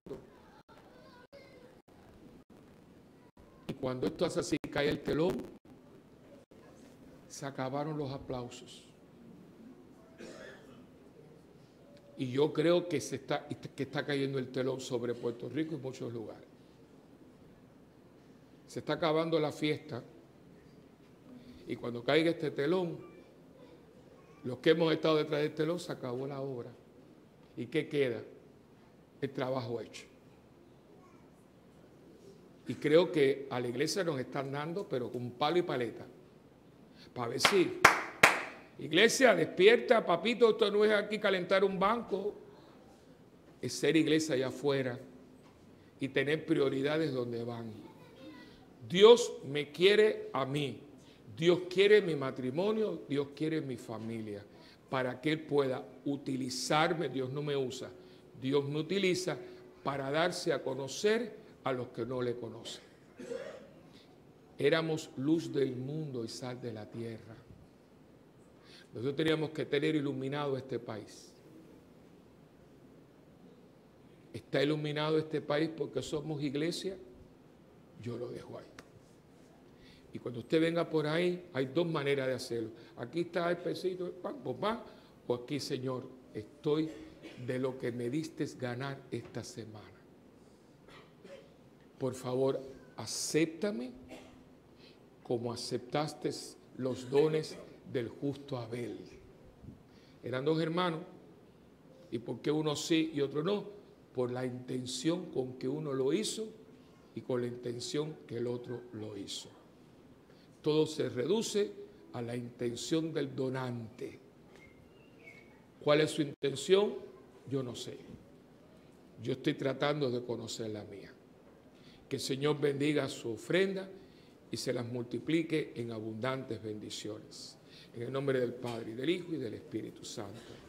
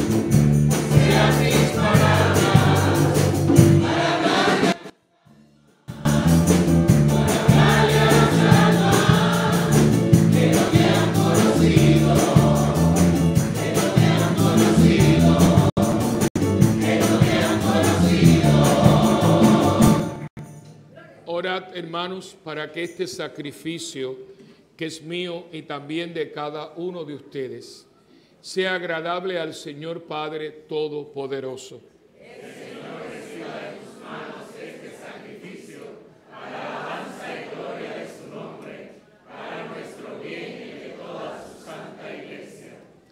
Te presentamos con alegría, Señor, estos dones para la salvación eterna.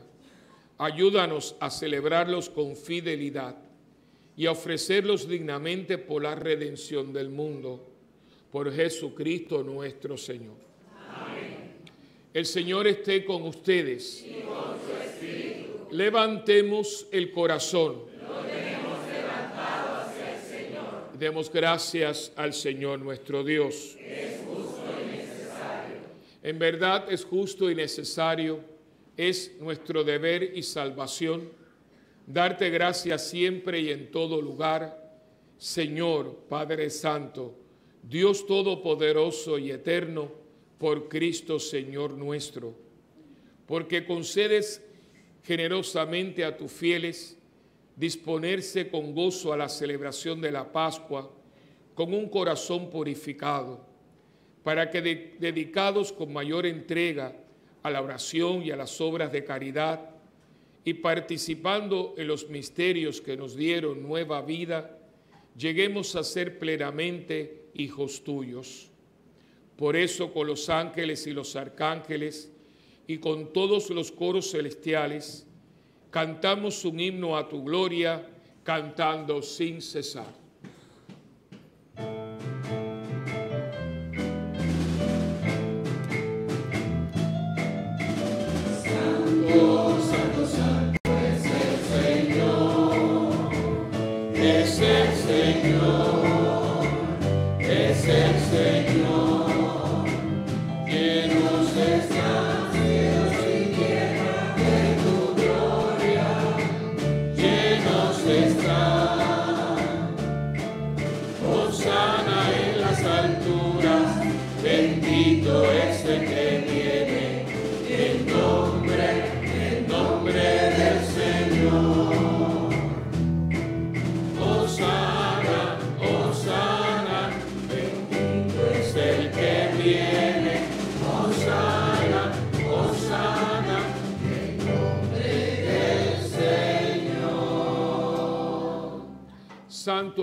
En verdad, Señor, fuente de toda santidad.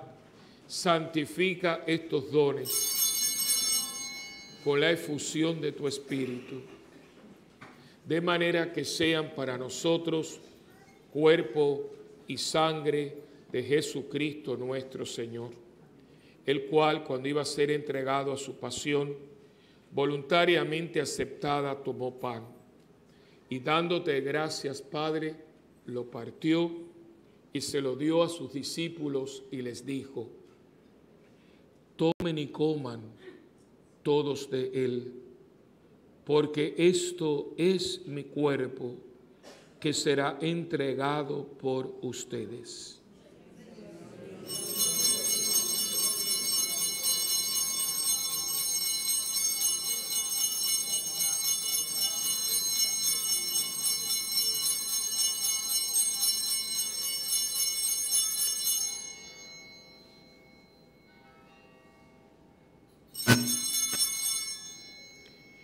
Del mismo modo, acabada la cena, tomó el cáliz y dándote gracias de nuevo, Padre, se lo pasó a sus discípulos y les dijo, tomen y beban todos de él, porque este es el cáliz de mi sangre, sangre de la alianza nueva y eterna, que será derramada por ustedes y por muchos para el perdón de los pecados. Hagan esto en memoria mía.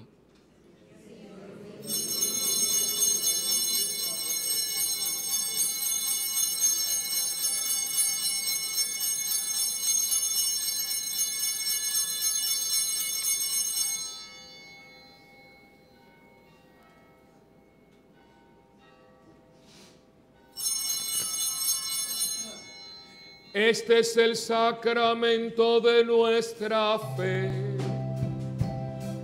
tu cruz y resurrección nos ha salvado,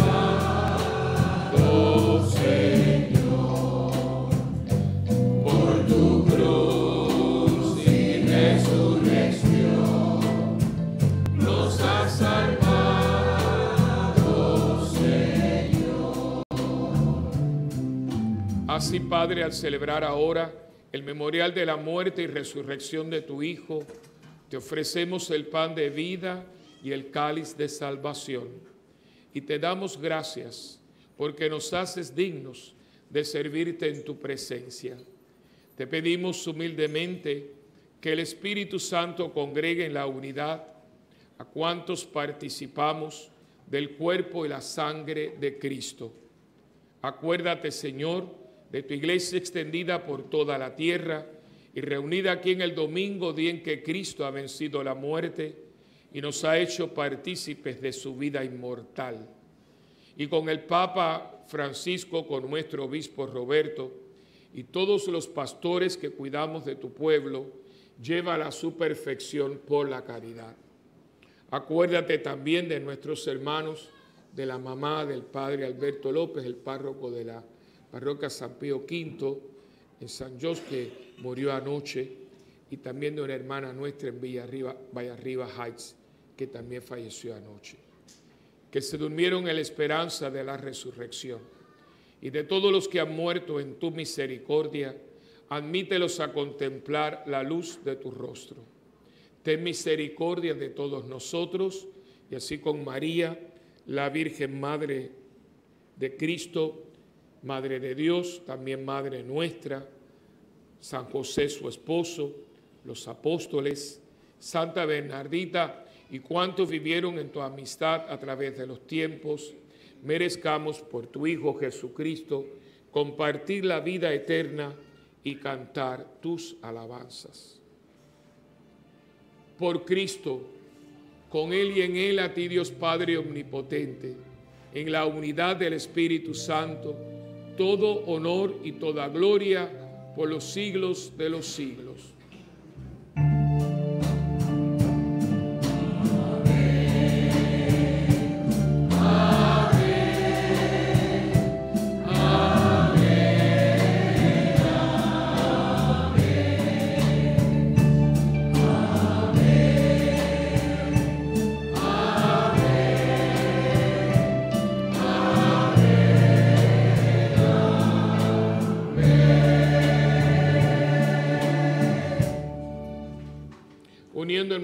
Manos y corazones, recemos con humildad y confianza la oración que Cristo nos enseñó. Padre nuestro que estás en el cielo, santificado sea tu nombre, venga a nosotros tu reino y hágase tu voluntad en la tierra como en el cielo.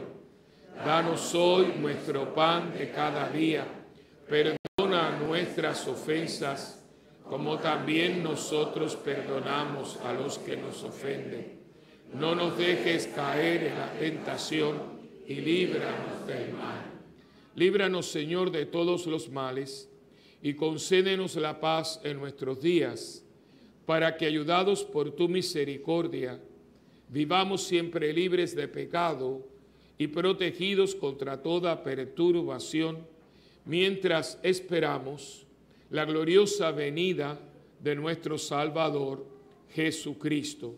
Porque el reino, el poder y la gloria por siempre, Señor. Señor Jesucristo, que le dijiste a tus apóstoles, mi paz les dejo, mi paz les doy. No mires, Señor, nuestros pecados, sino la fe de tu iglesia, y conforme a tu palabra concédenos la paz y la unidad tú que vives y reinas por los siglos de los siglos. Amén. La paz del Señor esté siempre con ustedes. Y con su espíritu. Como hermanos que somos en Cristo, démonos un saludo de paz.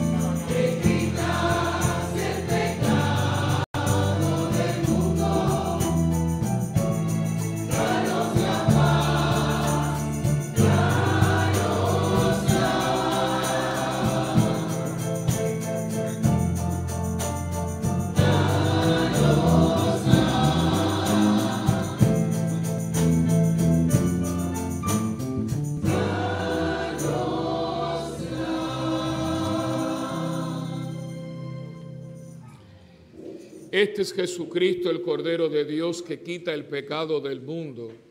Dichosos los invitados a la cena del Señor.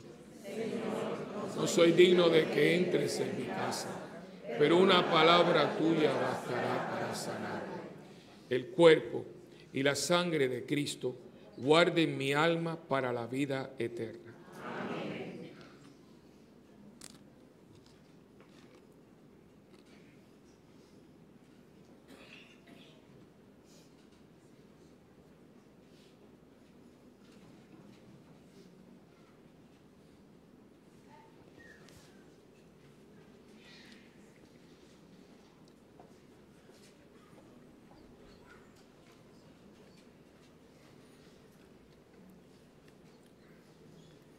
Cuerpo y la sangre de Cristo.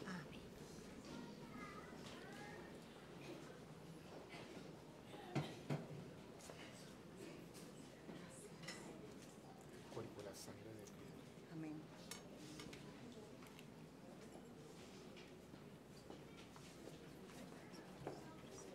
Cuerpo y la sangre de Cristo. Amén. A nuestros hermanos que no pueden comulgar sacramentalmente, le pedimos que se unan a nosotros en esta oración de la comunión espiritual. Jesús mío, creo que tú estás en el Santísimo Sacramento. Te amo sobre todas las cosas y deseo recibirte ahora dentro de mi alma. Ya que no puedo recibirte sacramentalmente, ven al menos espiritualmente a mi corazón. Te abrazo como si ya hubieses venido. Señor, no soy digno ni merezco que entres en mi pobre morada, pero di una sola palabra y mi alma será sana, salva y perdonada. El cuerpo, sangre, alma y divinidad de nuestro Señor Jesucristo guarden mi alma para la vida eterna.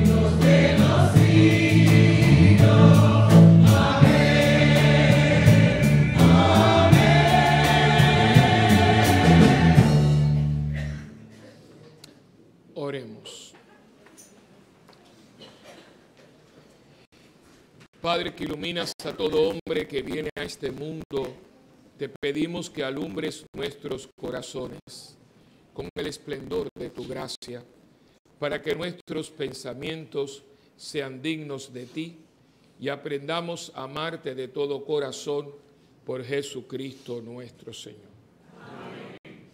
Siéntese un momentito. Eh, primeramente, eh, quisiera, ¿verdad? Porque siempre es un poquito desagradable. Personas que, ¿verdad? No, no son muy asidos a la parroquia. Y recordarle, y es muy fácil, eh, cuando ustedes vean que hay cálices, o sea, el cáliz es esto, porque vamos a empezar, damos uno de los cálices, cualquiera. Esto es un cáliz, no es una copa, esto tiene un nombre, cáliz. Cuando usted ve que hay, usualmente hay uno solo, que es el del celebrante, pero cuando usted vea que hay tres más, ¿qué significa eso? Que la comunión se va a hacer como bajo las dos especies. Cuando uno da, la, la, iglesia permite, de acuerdo a las directrices de la conferencia episcopal, que se puede dar la comunión bajo las dos especies de varias maneras. Si usted está en Estados Unidos, ellos lo dan bebiendo. Entonces ustedes van a ver que hay una fila para la comunión pan y la fila de la comunión sangre. Este, de hecho, hay un ministro para copa y un ministro para cáliz. Dice, eso no está permitido en Puerto Rico. Los obispos de aquí decidieron que cuando se diera la comunión, se diera por inmersión. Eso significa que yo la Santa Hostia la cojo, la mojo, la mojo y la se la doy. ¿Qué pasa? Si usted me pone la mano, ¿cómo usted se la limpia después? Usted ve que yo tengo muchos pañitos, que no son pañitos, se llaman purificadores, porque purifican. ¿ve? Esos pañitos, los que ya saben esto, me lo tienen que oír otra vez, esos pañitos, cuando nosotros terminamos, se llevan, hay una bolsita y una hermana nuestra, no digo su nombre para quitarle el mérito, ella se lo lleva a su casa y coge una palangana, los enjuaga bien y esa primera enjuague, esa primera agua, se tira a la tierra. No se puede tirar porque a lo mejor hay una partícula, ¿ves? Entonces después que está, se, se lleva a la lavadora y se lavan y se planchan y se traen se consumen todos los días. Aquí hay como más de 40 o 50 porque todas las misas. ¿Qué pasa? Usted no tiene un purificador, así que usted tiene tres alternativas. Eso no se hace. O usted no puede hacer eso porque entonces eso está manchado. Entonces, por eso no se da en la mano. Y es tan pesado decir a una persona que es así, pero mire, mire aquí arriba. Si usted ve tres, vamos a dar la comunión bajo las dos especies. Si no ve esto, usted pone la mano si usted quiere recibirla, porque entonces no hay problema. La hostia está hecha de una manera que no deja residual. La cosa es que no puede haber nada que quede de residuos. Pero usted ve que hay un juego y dale, que, porque no puede, porque la iglesia, nosotros somos católicos, creemos que en esas partículas está la presencia. Entonces hay que cuidar de eso con la vida, ¿no? Entonces usted como católico tiene que entender, vuelvo a repetir, es muy fácil, vas a ver que hay uno con esto, ya tú no pongas la mano porque es muy pesado, porque yo tampoco te voy a estar dando explicación, pues mete la fila separa, no es el momento, pero quiero que quede eso aclarado, porque a veces es muy pesado, si te ocurre es un grosero, no, es que no te pueda la comunión bajo las dos especies. ¿Entendido? ¿Sí? ¿Sí o no? Bien, gracias. Dicho esto, eh, quería, eh. Allá, llévese su boletín, las lecturas son muy lindas para poderlas compartir. Lo segundo que quiero también aclarar es que ven que los niños se sienten, ¿verdad? Eh, la escuelita, como los niños le pusieron, está cerrada en esto porque gracias a una persona estamos trabajando en la casa. La casa está en muy deplorable situación, pero no habíamos podido porque la cosa está fuerte y con el dinero que entra, no. Entonces, una persona que Dios lo bendiga. Aquí de pronto a veces viene gente y vienen del cielo y está ayudándonos para, para ver si la podemos, porque hay mucho hueco y muchas cosas. Entonces, creo que me, me dijeron que de una a dos semanas vamos a pulir los pisos. Lo íbamos a cambiar, pero ya me dijeron que no es necesario y va, ya, ya está repellando y todo. Hace falta algunas cositas, pero eso será después de la convivencia. Pero hay que poner bien la casa porque esa casa se utiliza con la convivencia. Ahí está la enfermería, es el baño de los caballeros y también a veces hay alguna reunión. Entonces, paciencia, todas las reuniones que hay, hay semana están suspendidas por lo menos toda esta semana. Si veo que la persona me dice, porque a caballo regalado, eh, no se le mira el comillo, y son gente muy responsable. Si ellos me dicen, padre, hay mucho, porque la casa está bastante deteriorada, que después que hagamos esto va a haber unas directrices, porque están haciendo una cosa muy bien hecha para la gloria de Dios y mérito de estas personas. Eh, pero por eso se sacaron todo. Ven que ahí hay un, como una especie de trailer eso es que toda la escuelita, todos los muebles se movieron para allá, porque es toda, toda, la casa se está eh, poniendo al día porque está bastante deteriorada. Y también pidan mucho porque Ida, Lourdes y Anselmo tienen influencia los dos. especialmente Ida Lourdes está bien delicada, pero bien, bien delicadita de salud. Eh, y pidan mucho por Aranza, porque ella está con ella parece que Idalure se lo pegó a Selmo y, está, pero Idalure especialmente si usted habla con ella no se le entiende. Y es una mujer muy buena, o sea, nosotros con Pia, una mujer, ella tiene su carácter, pero es una mujer muy buena. De la gente que aquí, yo le llamo a Idalure gente de pegado, esta gente trabaja hasta el pegado, con lo que sea. A veces es un poquito sin carácter, pero si no lo tuviera, hermano, no resolvía lo que resuelve, ¿me entiendes? Yo la verdad que uno le extraña porque a nosotros nos, ayuda mucho.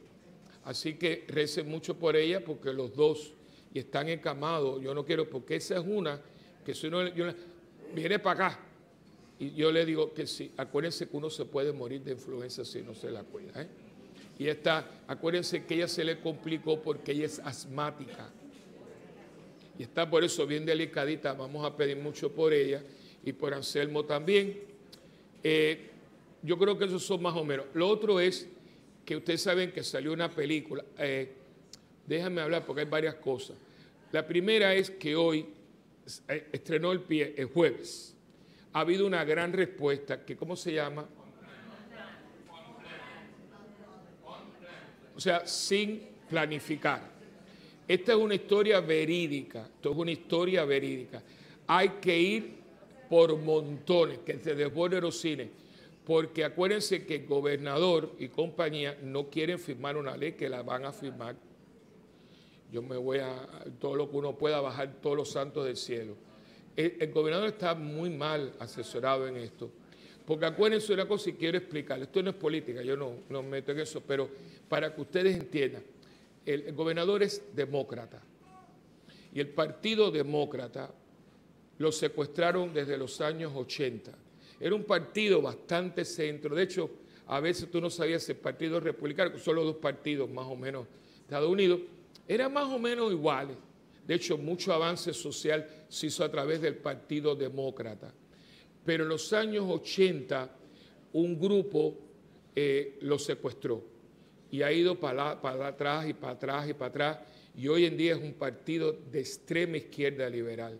¿Saben quién era demócrata? Ronald Reagan. Cuando él era presidente de la Asociación de Actores en Hollywood, Ronald Reagan era demócrata. Cuando él le dijeron una vez, ¿por qué usted dejó el Partido Demócrata? Él dijo una frase muy famosa, dice, yo no dejé el Partido Demócrata, el Partido Demócrata me dejó a mí. Empezaron con el aborto y la cosa, y hoy en día esa gente aprueba cualquier cosa. Entonces, ¿qué pasa? Sin darse cuenta se ha polarizado el país. Porque son candidatos que si usted es católico no puede votar por ellos. Porque todo lo que nosotros no tenemos como valores y principios cristianos, ellos lo abogan. Todo. Entonces, el gobernador nuestro es demócrata. Y, mete en presión, y mete en presión. El día 6, eh, que es el día también del, del desayuno de oración, uno tiene que escoger, pero vamos a estar congregados, puede más tarde, podemos congregarnos frente al Capitolio con una demostración que para que vean que el pueblo, de Puerto Rico no es un pueblo liberal, Igual que el pueblo americano no es un pueblo. Lo que pasa es que la noticia, especialmente si viene de CNN, siempre es Los Ángeles, Nueva York, Chicago, y esa gente, California no es la capital de Estados Unidos. Hay mucha gente en Estados Unidos de iglesia, de todo, pero nunca se oye. No se oye. Entonces siempre que tú ves en CNN, las locas estas, dices, ay, mira la gente, no se crean que son mayoría. Lo que hay una mayoría silente que no habla. Hay que hablar, hermano, porque no están comiendo los dulces. Y esta película hay que respaldarla.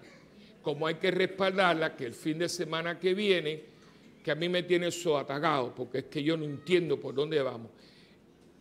Se hizo aquí en Puerto Rico, tomen unos minutos, porque ustedes no saben de esto. Se hizo una película de Carlos Manuel Rodríguez que es una joya.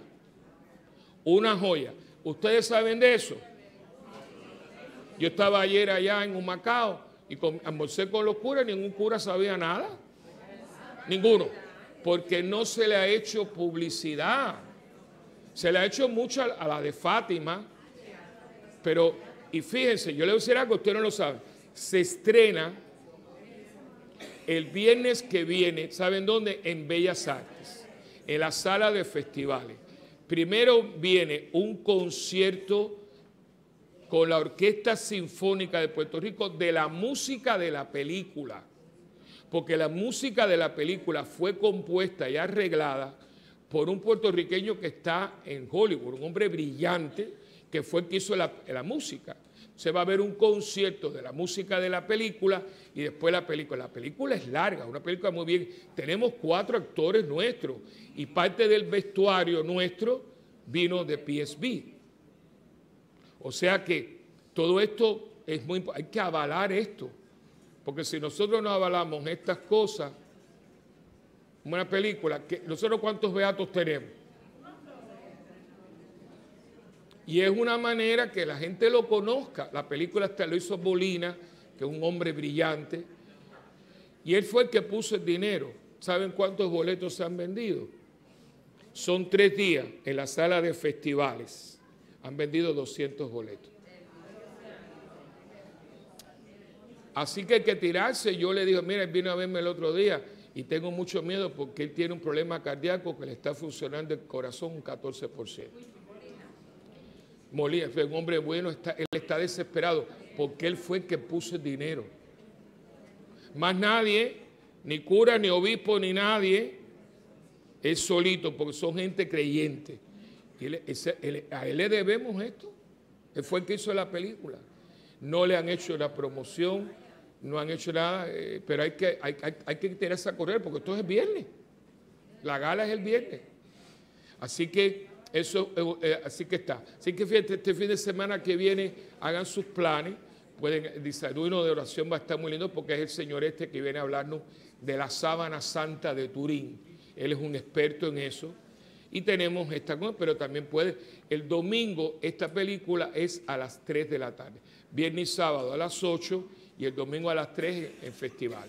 Así que para cualquier información, pues llamen a Bellas Artes o aquí Aquí no hay boleto, pero por lo menos hacemos la promoción. Y entonces, por último, hoy el almuerzo lo tienen nuestros hermanos del Buen Pastor. Un almuerzo muy bueno. Y sobre todo esta gente, hay que ayudar. Esta gente son los que le dan alimentos a los deambulantes. Pero hay que tener en cuenta que esta gente, primeramente, le hacen una comida a los ambulantes de restaurante. Yo a veces almuerzo es una cosa exquisita.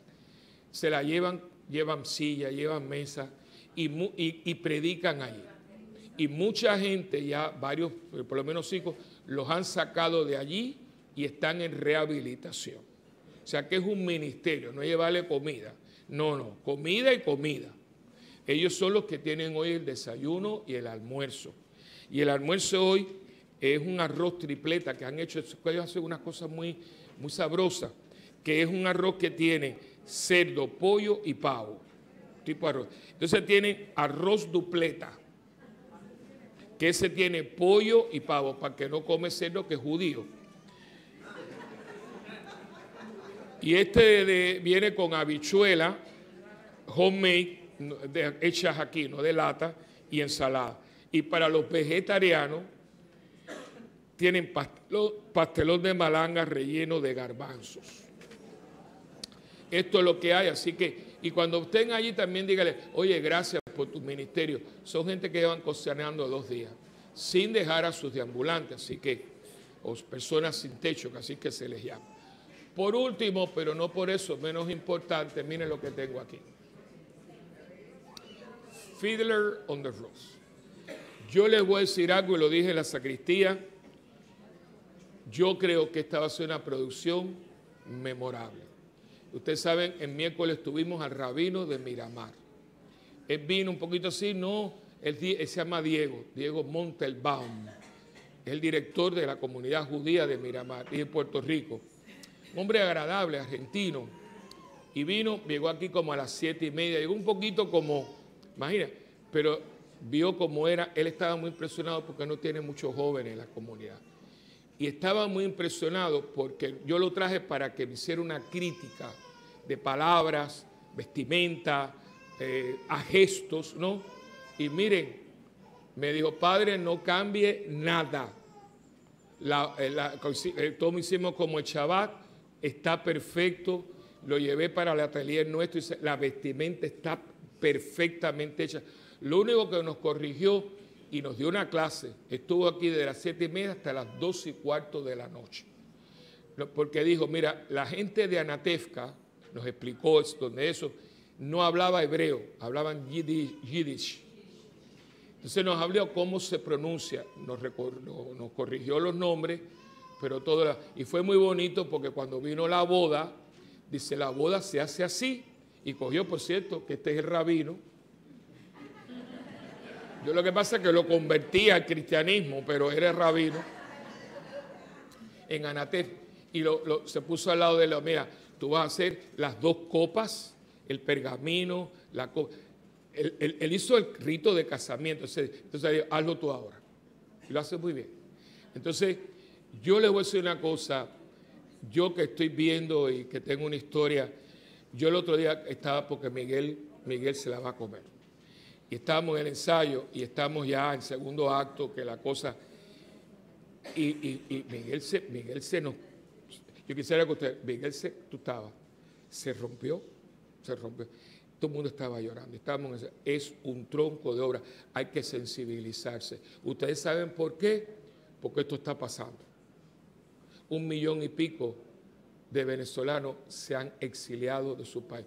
Porque no, no confundan inmigrar por razones, me voy para Tampa, porque me No, el exilio no es ese. El exilio tiene una característica que no tiene la inmigración normal, que usted se va sin querer irse y usted no puede volver. No se confunda. Ah, porque yo también me fui para Tampa, pero tú puedes ver cuando te dé la gana, vienes para acá. Cojo un especial de Southwest. Usted se va sin querer irse porque lo votan. Te votan o te matan o te vas. A mi madre le dijeron, oye gallega, tienes tres opciones. Su primo hermano, que después por cierto lo fusilaron, era capitán del ejército rebelde, y como después vio que la cosa estaba poniéndose rosado, rosado, rojo, lo mataron y lo fusilaron. Él vino y le dijo a su prima hermana, que era mi mamá, oye gallega, o te asimilas, o te exilan, o te exilas, o te fusilan. Porque mami estaba ya tirada. Y mi madre nunca volvió. Cuidado, que eso está pasando. Hay venezolanos que no pueden volver. Si pones un pie en Venezuela, te arresto y te matas. Eso está pasando. Entonces, cuando usted, y usted no puede, si es cristiano, estar ajeno a esta realidad. Por eso tenemos una muchacha que se, sienta ahí al lado de, de Indira, no, pero digo, te sienta al lado tuyo, de Vanessa. Se sienta al lado de Vanessa, entre ustedes dos se sienta ella. Y la familia completa de Indira, toda, está en Venezuela. O sea, hermano, esto, esto es serio. Esta obra, yo la pedí, ¿por qué usted puso esto? Porque hay que entender que hay una pasión pasando en el mundo que está reflejada aquí. Ya poner a Cristo crucificado, ya, ya todo el mundo vio la película de Mel Gibson. Pero ¿qué pasa? Que se ve la película de Mel Gibson comiendo perro caliente. No, hay una pasión pasando también que sale de aquí. Y el acto esta gente que se tuvo que ir, te dijeron, oye, ya. ¿Y sabe lo que usted sabe? Usted coge la maleta, tira cuatro cosas y te llevan. Porque a mí me montaron un avión con tres bayonetas. Con tres bayonetas, tres ametralladoras me llevaron. Pararon el avión. Yo no puedo entrar a Cuba, jamás. Y eh, estaba conmigo Lidia, Lidia vivió eso conmigo y Bernadette lo vivieron conmigo. Y Turbe, tú estabas, era Iturbe, Lidia, Bernadette y yo. Ellos pasaron y cuando tú, te acuerdas, y ya tenía mi maleta ahí. Y pararon el avión de American Airlines en la pista y fueron tres señores con ametralladora, me montaron en el avión. Y me dieron un papelito que yo tengo, por cierto, enmarcado. Persona non grata. Así que esto no es una obra de teatro. Entonces esto pasa en conciencia. La pasión que está pasando este mundo. Porque mientras nosotros tenemos una exhibición de chocolate y café, hay gente que está comiendo de un camión que recoge la basura. Que por eso metieron a Jorge Ramos, que se lo llevó a Maduro, dijo que estaba eso está pasando, hermanito. Entonces, esta obra es crear conciencia. Lleven a sus hijos, porque vale la pena. Esto es una obra preciosa. La puesta en escena esta va a ser espectacular. Yo estoy seguro. Ya tú lo sientes. Es una. Está. Y usted tiene que regalar algo por, por Pascua. Regale esto. Regale esto porque verdaderamente vale la pena. Son cosas que contrarrestan la cultura de Bad Bunny. Ustedes se ríen de estas cosas. Yo no estoy con ninguna risita. Porque si nosotros acostumbramos a nuestros niños a que estén escuchando, perra, gata, bájate los panties que te quiero comer eso, yo no sé dónde va a estar Puerto Rico. Porque aquí todo el mundo, la cosa está muy mal. ¿Y qué usted está haciendo? Porque yo con los muchachos aquí que ayer ensayaron desde las 3 de la tarde hasta las casi las 8 y pico de la noche yo no le doy ni agua. Eso es futuro, eso es futuro. Porque si la cosa, si a mí no me gusta, ¿qué cosa contrarresta eso cuando están regalando boletos para que los niños vayan a ver esa cosa? Esa cosa que ni canta. Y si alguien se lo quiere decir, dígale que yo lo digo. Porque la letra, cogiéndose sus partes, ese hombre fue a Viñas del Mar a representarnos a nosotros con tanto buen cantante que hay en este país. Y yo creía que por lo menos iba, no, allá estaba agarrándose. Digo, pero Dios mío, ¿dónde están las feministas? Que cuando tú ahora dices, oye Vanessa, qué bonito te coge el pelo, vas a, recursos humanos, mira, acoso sexual, pues le tiene un piropo. Pero esta misma compra el CD y va al concierto donde este personaje le dice, perra, gata, bájate los panties. Estoy, estoy mintiendo. Y entonces lo aplaude y paga. Este país está bipolar. ¿Tú cómo? Te di un piropo y me llevaste por acoso, por acoso. Y el otro te insulta. Y tú compras el cine y vas a... Hermano, esto es esquizofrénico. ¿Qué es esto? Yo no estoy criticando, estoy dando alternativas. Porque mi madre me enseñó que me dijo, oye lo que te voy a decir. Si tú criticas algo, y no ofreces una alternativa, eres un criticón. A una crítica, una alternativa. ¿Qué usted está haciendo? Pues mire, apoye estas cosas, apoye la película, apoye esta cosa. Hoy está a las 3 de la tarde. El Ministerio Raquel va a estar en la sala. ¿Dónde van a estar? No, pues de pie, háblale a ellos.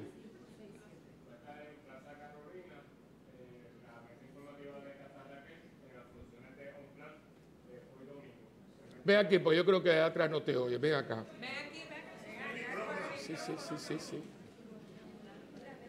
Sí, pues ya me dice que a mí, pues si yo está metido en esto, o sea que... Perdónenla un poquito, pero es para... Buenas tardes, hermano. Eh, Casa Raquel va a tener una mesa informativa en Plaza Carolina, en el cine de Plaza Carolina, hoy domingo, en las funciones de la película On Plan. Esta es una historia verídica sobre una dama que trabajó en lo que se conoce como Planned Parenthood. Donde, donde Obama, el famosito Obama, que yo siempre lo tengo aquí a trabajo, le dio millones, millones le dio a Plan Parenthood. Y Plan Parenthood, que está en América Latina, el otro día estaba en México. Y veo este edificio fantástico. ¡Ay, qué edificio más bonito! Y me dice el cura que está. Padre, ese edificio es de Plan Parenthood. Dinero de nosotros metido allá. Porque Obama era, Obama era de izquierda, pero eso fue horrible. Eso fue una presión. Yo sé que ustedes votaron, a mí no me importa. Pero eso fue horrible. Ese hombre acabó con la familia. Como él era, yo digo que él era musulmán, pero acabó. Y él le daba mucho dinero a esta gente. Millones. Tienen unos edificios que son para matar niños. Pero millones. Ellos no tienen una casita Raquel, edificio de cuatro pisos. Le hago esta historia, porque es que hasta los curas estamos bobos. Yo fui a Boston, a Lawrence, y estoy en la parroquia y veo, ve- dice padre, mira que te voy a enseñar, y media cuadra y la esquina, así como, aquí como si estuviéramos ahí a Campo Rico, y venimos, y digo yo, ay, qué edificio más bonito. Y eso es alguna universidad, y él como, dice, no, no, no, eso es algo para la familia. Digo, ay, para la familia, pero es católico. Y cuando yo veo Plan Parenthood. Digo, muchachos, ¿qué familia? Yo creo que eso es un lugar... a- no me digas, Willy. Digo, pero ¿qué, qué te pasa? Cuando le dije, no me digas, digo, eso va a ser una demostración a poner velas, a rezar a eso. Él no sabía, porque como el nombre es muy bonito, son unos sinvergüenzas. Esta señora trabajaba, ahí sigue, hermanito. Eh, está la, una, ¿verdad? La trama es de esta dama que trabajó en esa empresa durante unos ocho años, si no me equivoco. Y luego cuando ella realiza, ¿verdad? La, cruda realidad de lo que se, allí se hace y se vive, pues eh, ahí es que comienza la trama y ella cuenta lo que vivió entonces. Así que esta película es cómo funciona todo, dependiendo de la respuesta del público, pues que seguirá eh, presentándose, así que depende de nosotros que se trate este tema y más en estos tiempos que están las leyes de por medio ¿verdad? en nuestro país. Y como les dije, Casa Raquel va a tener una mesa informativa en las funciones de Plaza Carolina, hoy domingo, en esta presentación de la película. Y como tal, lo más imprescindible es que la gente piensa que no hay alternativa. Sí, Por eso es que decidimos, ¿verdad? Eh, eh, separar este espacio allí y nos permitieron para dar a conocer a Casa Raquel y que la gente sepa que hay una alternativa. Hay alternativas, por supuesto que sí. Lo que pasa es que le han metido 40 mentiras a la gente y la gente le, han, dicho- le han mentido tanto que cree que la mentira es verdad. Claro que hay alternativas, por supuesto que sí. La, alternativa no es matar a tu hijo. Matar, aunque sea la grama, nunca es una alternativa, porque si matamos la grama no llueve. Así que hay que entender. Y perdone el eso, pero es muy importante porque a, nosotros nos está tratando de pasar gato por liebre y ya está bueno. Pues ya ahorita no queda nada de nosotros.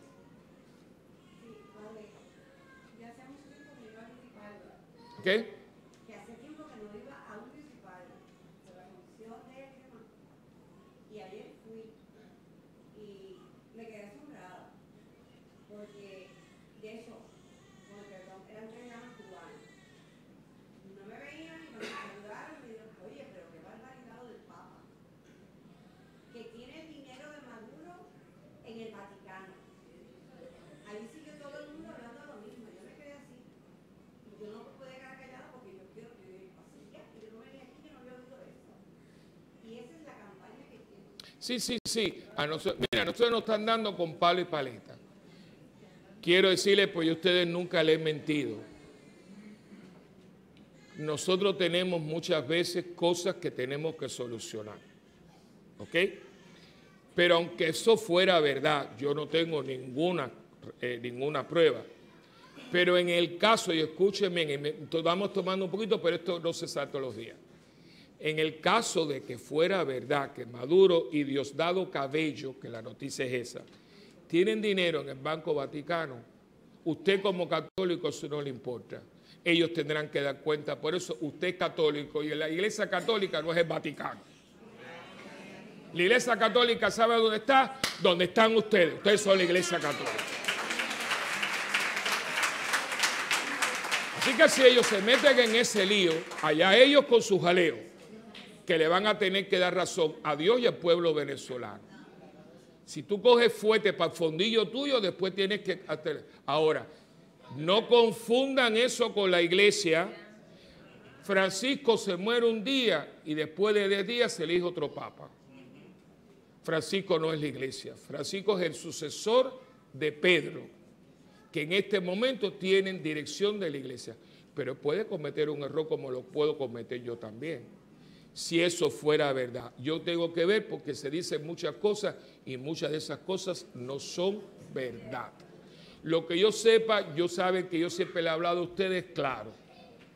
Siempre claro. Y cuando hay una cosa, esto pasó y vamos a ponerlo en el contexto que hay que ponerlo. La iglesia no son los curas, no es el Papa, no es el Vaticano. La iglesia son ustedes que son bautizados, confirmados, primera comunión. Ustedes son la iglesia. De hecho, yo diría que el futuro de la iglesia está aquí. Porque lo que se hizo ayer en Punta Santiago lo hicieron los laicos. Porque nada más que fueron tres curas. Con ese curita ahí. ¿Y, y cómo quedó? Y me lo dijo a mí José, dice, padre, todo esto que se ha hecho aquí, carpa, silla, comida, todo, lo hicieron los laicos. Usted tiene mucho poder. Lo que pasa es que nosotros le dijimos, los enseñamos nada más que decir amén. Pero ustedes pueden decir algo que más que amén. La iglesia es suya, porque ustedes son esa iglesia. Y si los curas hacemos metida de pata, que nos preparemos, que nos van a sonar por esto. O sea, no hay mejor, lo, lo mejor que hizo Dios fue un día detrás del otro. Así que, bueno, ahora vamos, allá saben, y a mi queridísima Isabelita está ahí en la oficina, no la dejen aburrida sin, sin gente, ella se aburre, pobrecita. Entonces, nos ponemos de pie para la bendición final. Oremos. No se vayan sin la bendición.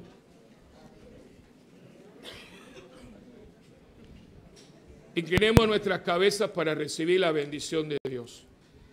Padre, protege a quienes te suplican, sostenga a los débiles y vivifica siempre con tu luz a quienes caminan en las sombras de la muerte. Con tu clemencia, apiádate de todo, de todos. Y, y, y llévalos a la plenitud de tus bienes por Jesucristo nuestro Señor. Amén. Y el Señor esté con ustedes. Y con su la bendición del Dios Todopoderoso, que es Padre, Hijo y Espíritu Santo, descienda y permanezca con ustedes para siempre. Amén. Muy querido Padre Willy, antes de leer la munición de salida y despedir la asamblea, su comunidad de Santa Bernardita quiere decirle que se une a usted en oración en la celebración de sus 45 años de sacerdote. Es fácil decir 45.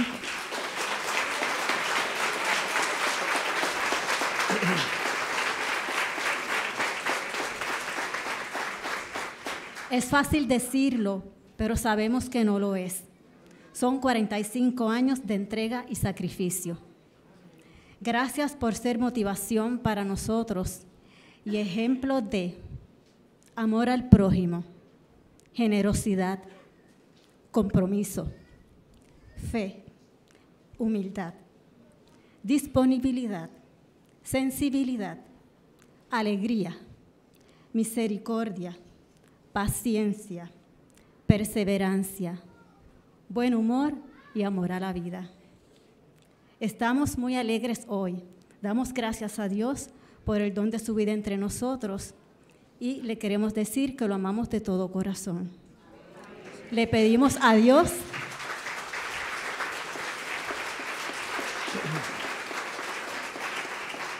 Le pedimos a Dios que lo siga bendiciendo y si es su santa voluntad, que nos los conceda muchos años más entre nosotros. Gracias.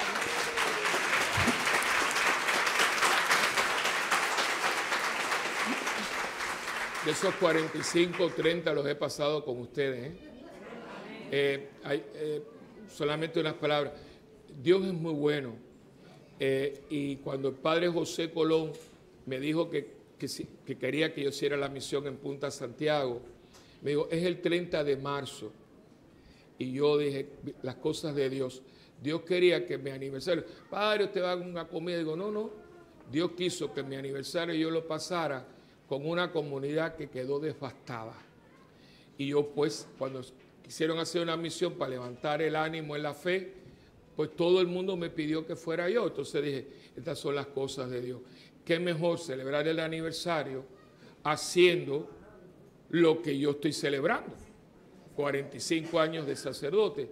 Y los sacerdotes vivimos para darnos. La razón de nuestra vocación son ustedes. Porque yo no me puedo confesar. Yo no me puedo dar la opción de los enfermos. Yo no puedo hacer con mi sacerdocio santificarme a través del ejercicio de mi sacerdocio, pero yo no puedo hacer nada con él. Para todo esto tengo que buscar otro cura. Ustedes se pueden confesar conmigo, pero yo para confesarme tengo que buscar otro cura. Entonces, yo puedo confesarlos a todos y si no tengo un cura, tengo que encomendarme a la misericordia de Dios. Eso es, así que yo interpreté, ayer estaba también con un pedazo de ustedes a través de Salterre, que hizo una labor muy bonita, que por cierto ustedes tienen mi regalo. Eh, no se me ha olvidado. Así que eh, gracias a todos eh, y ayúdenme, ayúdenme al tiempo que Dios tenga eh, su, en su sabiduría, ayúdenme a poder ser sacerdote para un Puerto Rico y un mundo que necesita mucho sacerdotes que nos entreguemos. No es fácil, pero cuando ustedes nos ayudan es mucho más fácil. Que Dios me los bendiga y quedemos en paz y muy buen provecho a todos. Miremos al horizonte y allí está Dios Padre misericordioso esperándonos. Él comprende nuestros errores y comprende con amor infinito nuestras faltas. Él nos espera siempre.